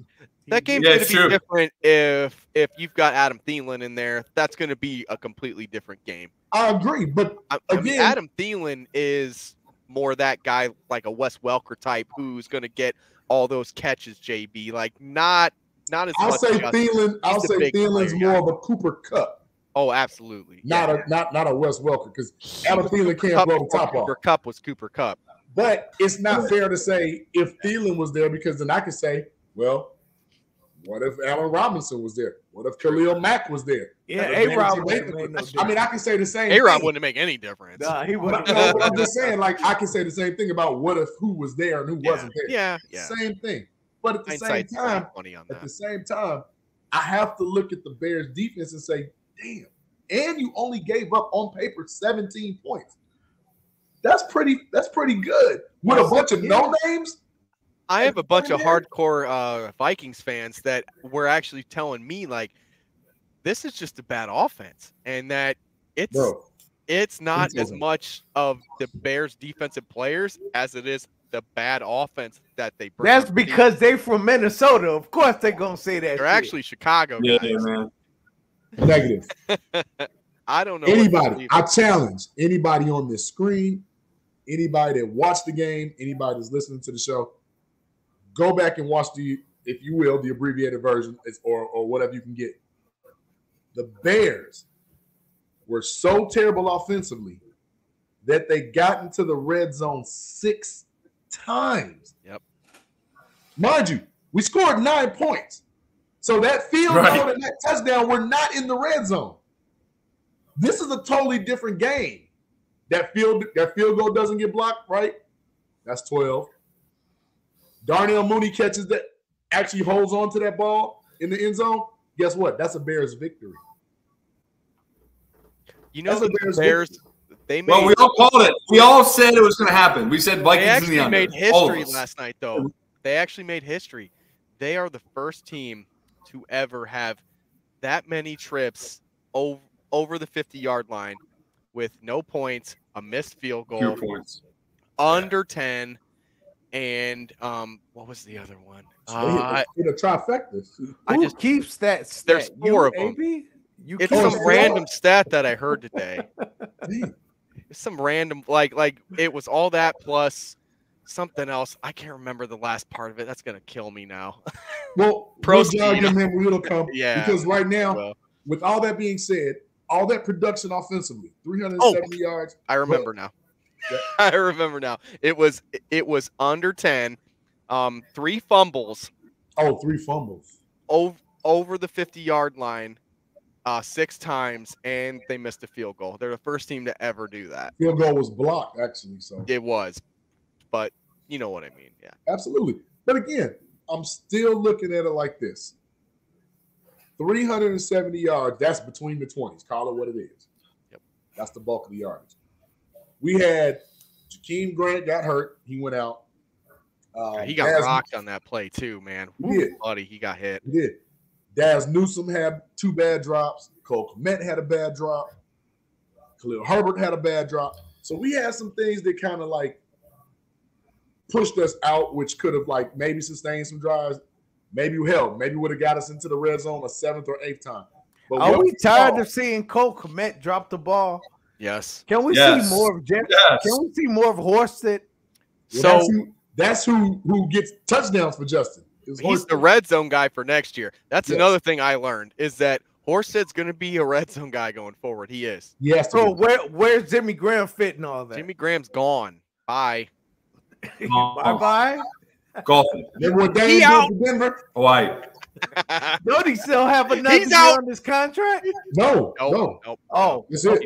No, yeah, he's done after this year. And even if he wasn't, he's not coming back. There's no way in hell. But but I'm back. I'm I'm gonna I'm gonna look I'm gonna do the glass half full because I saw what the Bears did to get down there, but unfortunately, Nagy being Nagy, some of the play calls he made in the like when they were on a 13 and he ran that jet sweep to the house, like wow, like this look. As much as I hate this play, curl curl flat is what he should have ran because they went like this. it was a garbage ass play. But The defense literally went like this and spread it out. Curl, curl, flat would have been the. That's when you call curl, curl, flat. that's when you but you know Nagy, he's gonna do the opposite of what he should do nine times out of ten on this team, man. So he he's definitely gone, right? oh, he's hundred percent gone. He's- I'll say this: He's not gonna be fired before the end of the season, though. He's not. You, you Well- think he know it? Well, listen. you think he know it gonna be fired? I think he So hold on, T, Yes. Cal, AB. Let me get your thoughts. This is the first season they will allow conversations week 16 and 17 only if you have a coach that's been fired or a coach that knows he's not returning. Yeah. So even though they may not fire Nagy, I'm pretty sure they put the bug in his ear that he's not returning. Yeah. So there might be some buzz the next two weeks. Fans, stay tuned. So that we may have some conversations going on. Yeah. I had a birdie tell me that they get the um they basically get every week who's going to speak what days and it goes like throughout a few weeks, right? Mhm. Nagy's booked the rest of the season. So he's gonna be here. So he's probably going to be there, but that's not saying that he's not going to get fired anyway. He might know it already because if you listen to him talk in these press conferences, he sounds like a guy who's not going to be around with with uh, Justin because the way that he talks about Justin is, you know, he's going to like be great. He's fine. Like he talks about him as somebody who's really actually going to watch him from afar. Like Mhm. not actually coach him. Like that's something that I've really picked up, especially the past couple weeks. Like it, I don't think he's going to be here. I think he knows it already, but he's working his ass off to try to at least leave a good impression. He looks wore out. He looks just beat to hell. I saw feel bad for energetic him. Last night though. Yeah, man. He's During ready to go game, chill out. And then after the game, he looks like his dog died, and he Do you think that was slept for in a week. show, or was that an audition for it his next coordinator See, gig? that's what I think it is. Is, is Coordinator gig. You didn't even say head coach. You say Oh, coordinator. his next gig will either be some type of analysis, Yeah. and I, I didn't say analyst. Yeah. I said analysis, meaning he's coming up with X's and O's behind the scenes, or he's going to be somebody's quarterback coach. Yep. If he's a coordinator, it's going to Oh, be an God, offensive no. Coordinator. Yes. Yep. If That's he becomes an OC, it's going to be an OC of a really bad team. He's gonna be a QB coach. The Watch him go to Jaguars. Jacksonville or yeah, yeah. Yeah, I think those guys. Darren, Darren's and me immediately both go Jacksonville or the Jets. you Detroit. know, stuff like it could be. Texans, some yeah. You never know. with Dan Yeah. Campbell's crazy ass. I mean, he'd probably bring Because- Well, I think people Oh, from the Andy he Reid tree, like you, you take care of each other. Like Andy Reid will pick up the phone for him and say, like, He'll I make think a call, Cal, but but but here we go again. Here we go He again. didn't pick up the phone for uh, uh Doug Pederson. yeah, I- No, But I heard no, but I heard Doug Pederson was kind of like snobbish, like he ru- rubbed people the wrong way. That's why he didn't. that. That's why he got unceremoniously dismissed. I had a rumor today that that that that the Bears were interested in Doug Pederson. That's an old rumor. Mm. It, it is, but it. I got Okay, why would he leave? Why would, why would he leave where he's at? Why would he leave where he's at? That's a good question. You got a lot of bugs in your bugs and birdies in your ear. I do lately. No, I, but, I but don't like know why. seriously, but think, see that's why I said mean- you have to sift through the rumors. Why he would wants he a head leave the coaching situ- job. Like he wants a head coaching job again, man. Like Everybody, it's only some guys that have that itch exactly, and that's So why of course he he wants. wants another one. But let me give you a name. What if, what if Josh McDonald came? What, what, what do you Josh say? McDaniels, you mean? McDaniel, excuse me. Gosh, I just butchered. Jo- yeah, Like Josh Hey, McDaniels. We had this conversation. cue up the button before my mother hears me.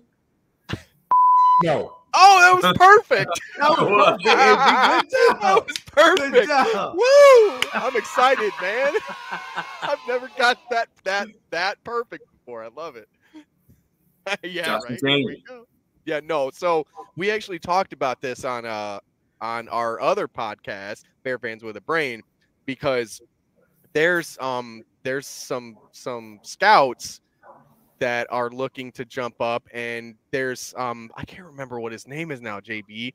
He's like like um an advisor for the the Patriots and he might actually be one of the runners for the Bears and there's that kind of connection. I can't remember his damn name now. Ah, That's going to drive me nuts. But there might be that connection and I'm not opposed to it. I'm not because you know you've seen a lot of a lot of head coaches get second chances and they end up better for it, right? We talk about that all the time, and I'm We not opposed to second chances. Bill Belichick's a good example. He's the ultimate He's example. the number one example of somebody who got another chance. You know, you could go down the list of guys like that. So I wouldn't be opposed to it. I just want to know who he's bringing with him, what his plan is for Justin, and how he's going to um, execute the plan. And if he's learned from his days with the Broncos, the way he handled the whole Tebow thing, everything else, the way he handled Cutler, all that crap, like that stuff needs to change. big. It does, but I think so. My my knock on McDaniel's is not as big of a knock as maybe on some. Yeah. My knock on him with the Bears is this. Yes, people do deserve a second chance. Now, was his time in Denver just god awful? No. He started out hot, like I think they were like seven and one or But something. remember, remember the whole the, the Tebow experiment plus. Yeah. But the, the problem with the problem with Josh McDaniel was he becomes a victim of Belichick's success because now they expect what Belichick did to trickle down into him. But I've never really seen him awarded the opportunity to develop a franchise quarterback. Yes. And that's what scares me. Not saying that he can't, but when have we ever seen him awarded the chance to develop?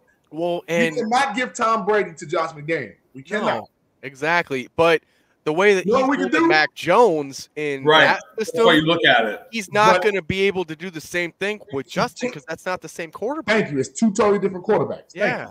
Yeah. That's why I said that's what scares me about McDaniels just a little bit. And in order for them to run that same system the New England runs here, you gotta fortify that offensive line. Yeah. They are predicated on the run. They are a true short West Coast passing game. Very, very seldom. And this is what bit them in the butt the other day against the Colts. They ran the ball 40 sometimes, passed it three. They beat the Bills. Handled. Reversed it because the Colts put the ball in Matt, Cal- in Matt Castle. Put it in uh, Mac Jones' hands. He throws it 40 times, and you see the different outcome. Yeah. Yeah, but you're not running on the Colts though either. But you can play that grind out game if you have a quarterback that you Yeah. know can get you first Well, down. and see, that's what bothers me about the Colts because they lead the league in takeaways. So you're going to have a rookie quarterback throwing that much against a team, one of the best defenses in the league. And and again, that's why I, I didn't say like the I'm- game plan. I didn't. I'm kind of confused as to with all the swirlings about them. Are you all looking at the name, or you all watching the games to when he's actually up against some adversity? Because that's not Right. that's not what I want. I mean, we've seen Nagy do that with Justin. I don't need to see that anymore. Yeah. I need to see. Well, look, look, hey, this weekend you'll fig- you'll see it, and not to get away from the Bears too much, but like you'll see it this weekend when Buffalo goes to New England, and then Baltimore goes to Cincinnati. You'll really see. I won't like, see it again because you know what? I think Josh McDaniels is just going to run the ball forty times again. He might, he might, but he's he's on the you know he's at home, but like But your oh, but you spoke. So again, I'm gonna give you two minutes. Your boys are in trouble. Yep. Shame lost on three in a row. They haven't won a game on since the Bears. You, A- AB, we watched Game of Thrones. Shame. Ding, ding, Shame. I don't know, man. It's a lot of talk. like, hey, let's talk this time next week. I love where they they're sitting right now. They're going to go in there. They're going to take care of Oh, I don't. I don't. You only love where they're sitting because Cleveland lost and they're still in the eighth spot. I That's the only reason you love it. I Yeah. actually think that they I th- might they might end up being one of the worst in the division at this point because the Steelers are starting to come up. But there's The they're defense technically playing second- good with they're them. technically Steelers are playing the ball right now. They're playing ball. They're not messing around, and you know, you know Cleveland's coming. I'm I'm sorry that run game is good with But Cleveland. that Raiders loss really hurt them. That Raiders loss did. Yeah, it was bad. I, I, they that makes no them seven. That makes them game. seven and seven.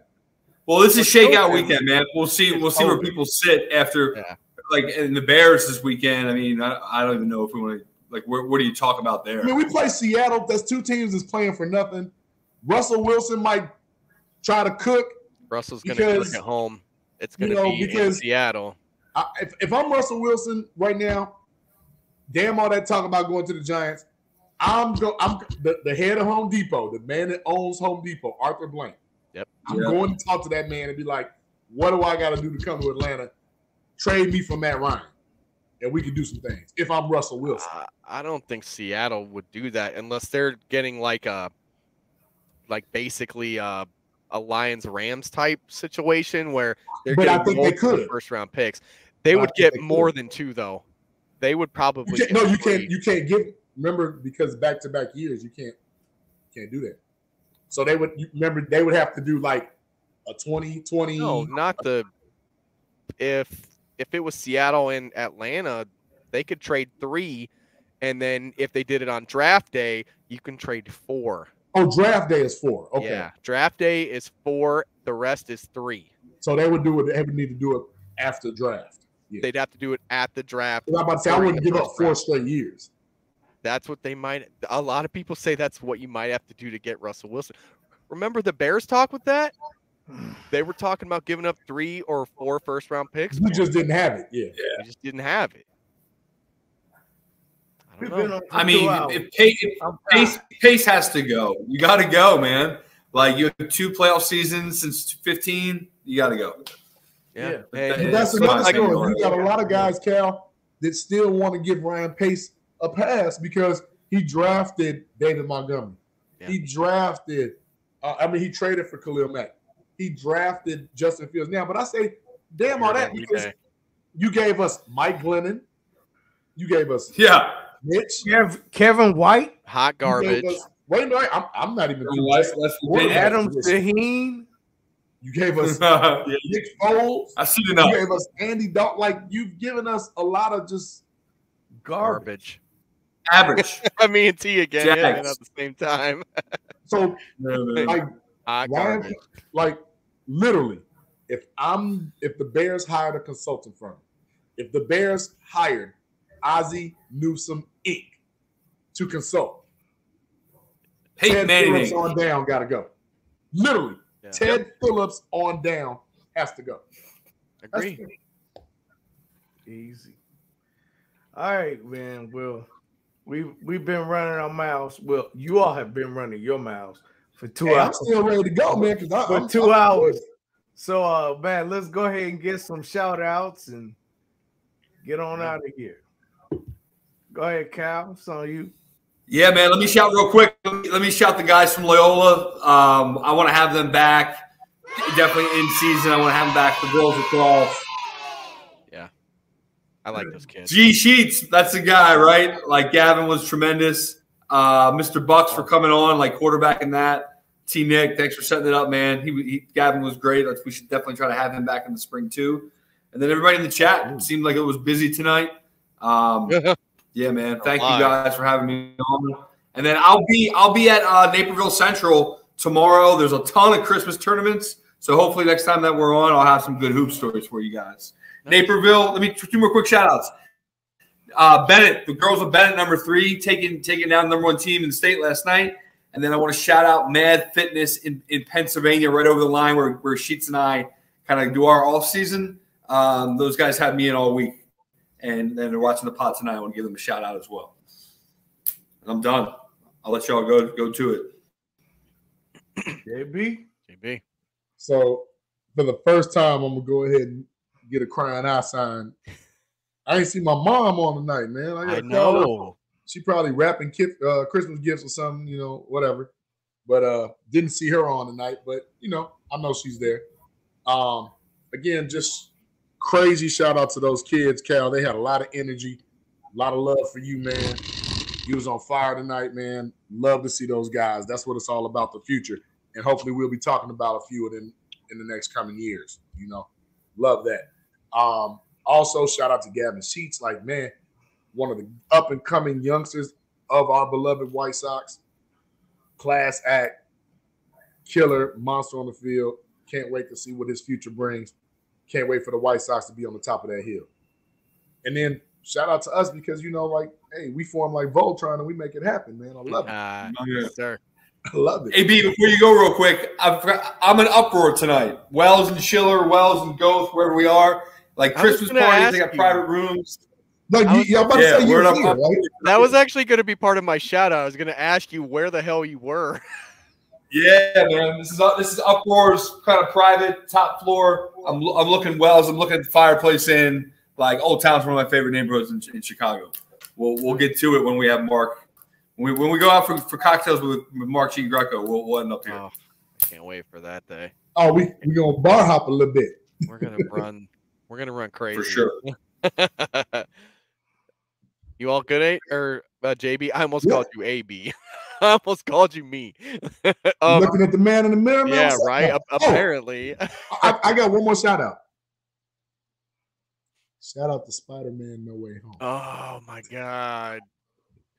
we don't talk about that here. We'll talk about that on Thursday.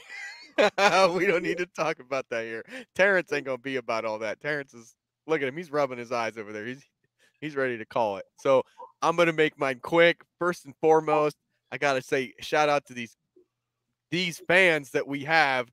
My God, I am gonna start calling them the Cal Christmas Tree Squad that we Fair got enough. in here. All of a sudden, enough. Where when- is it? whenever Cal Mafia took over this podcast, Cal Mafia.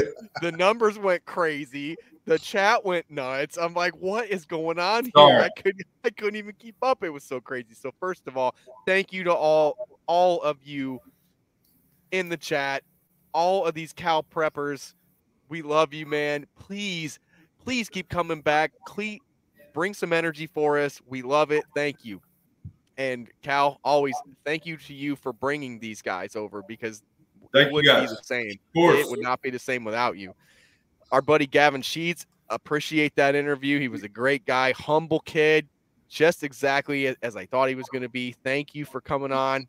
We appreciate it. Sorry about the question that I asked. I had to ask. I knew he wasn't going to answer it, but I had to ask anyway. But awesome guest as usual. You guys love you. Amazing job as usual. And that's really it for me. I think I'm done. It's all you, T.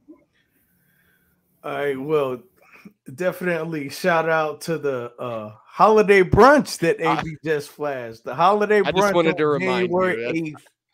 Holiday brunch AF. Not as fuck. Oh, damn it. Holiday brunch after the fact because Oh. it's on January 8th after the fact, after the holidays are over. So uh it's gonna be at Tilly's 1455 Ring Road in Calumet City. Um make sure you secure your spot. I'm gonna give out some gift cards for it. Also, um I might have a, a secret code where you get like free drinks. So stay code? Huh? What's that code? I don't know yet. I need that code. Stay tuned. Stay tuned. But um, as for my shouts, uh, first shout out to Gavin Sheets. Thanks, uh, thanks for coming on the podcast. Very interesting, insightful. Definitely one of the young up and coming uh players, first baseman, uh, maybe right field, who knows? Um, but definitely one of the one of the most promising up and coming players that the White Sox have to offer. Um, shout out to Cal for making that happen. Uh, shout out to you guys for holding it down. Shout out to my man Bucks for coming in. I forgot about Bucks. and you know I bowed out to him, but I definitely should bow out to him because he's one of the pioneers and he's a big White Sox guy. So I thought that it was appropriate for me to give the reins to him. So shout out to Bucks. Shout out to everybody in the chat. George Smith. Uh, once this is over, maybe you can go give Cal a kiss. Um, Mike McCarthy. Uh, uh, shout out to you, man. Uh, yes, it was a great segment. Michael McNaughton. All these are new people. Shout out to y'all for being on the podcast. If you left, shout out to you anyway. Hope you come back. Uh, everybody else that was in the chat, I didn't see the normal like Chris Edgerton and Mama. I didn't. I didn't see those. It's a whole new world Chaplin, today. I didn't see them. But if you are lurking, I appreciate y'all. And as always, all the lurkers, we appreciate y'all. And we had a hater today. Oh, Enough we did. I wasn't even gonna bring it up. We had a hater today. Hater. That's Well, for you. He can't hear you because I blocked his ass immediately. So Well, that's Okay. all right. Haters, that's for you. They're gonna Speaking hate. of this, They do. I want to give a shout out to Dat T Biz for for this wonderful shirt. I love that shirt. Says fuck them kids that ain't mamas too. Oh wow. I need that in my life. Now you talk about aggressive. That's pretty aggressive. But, I love that. but it's a shirt. fun shirt. Not just the kids, but the mamas too. Yeah, the mamas too.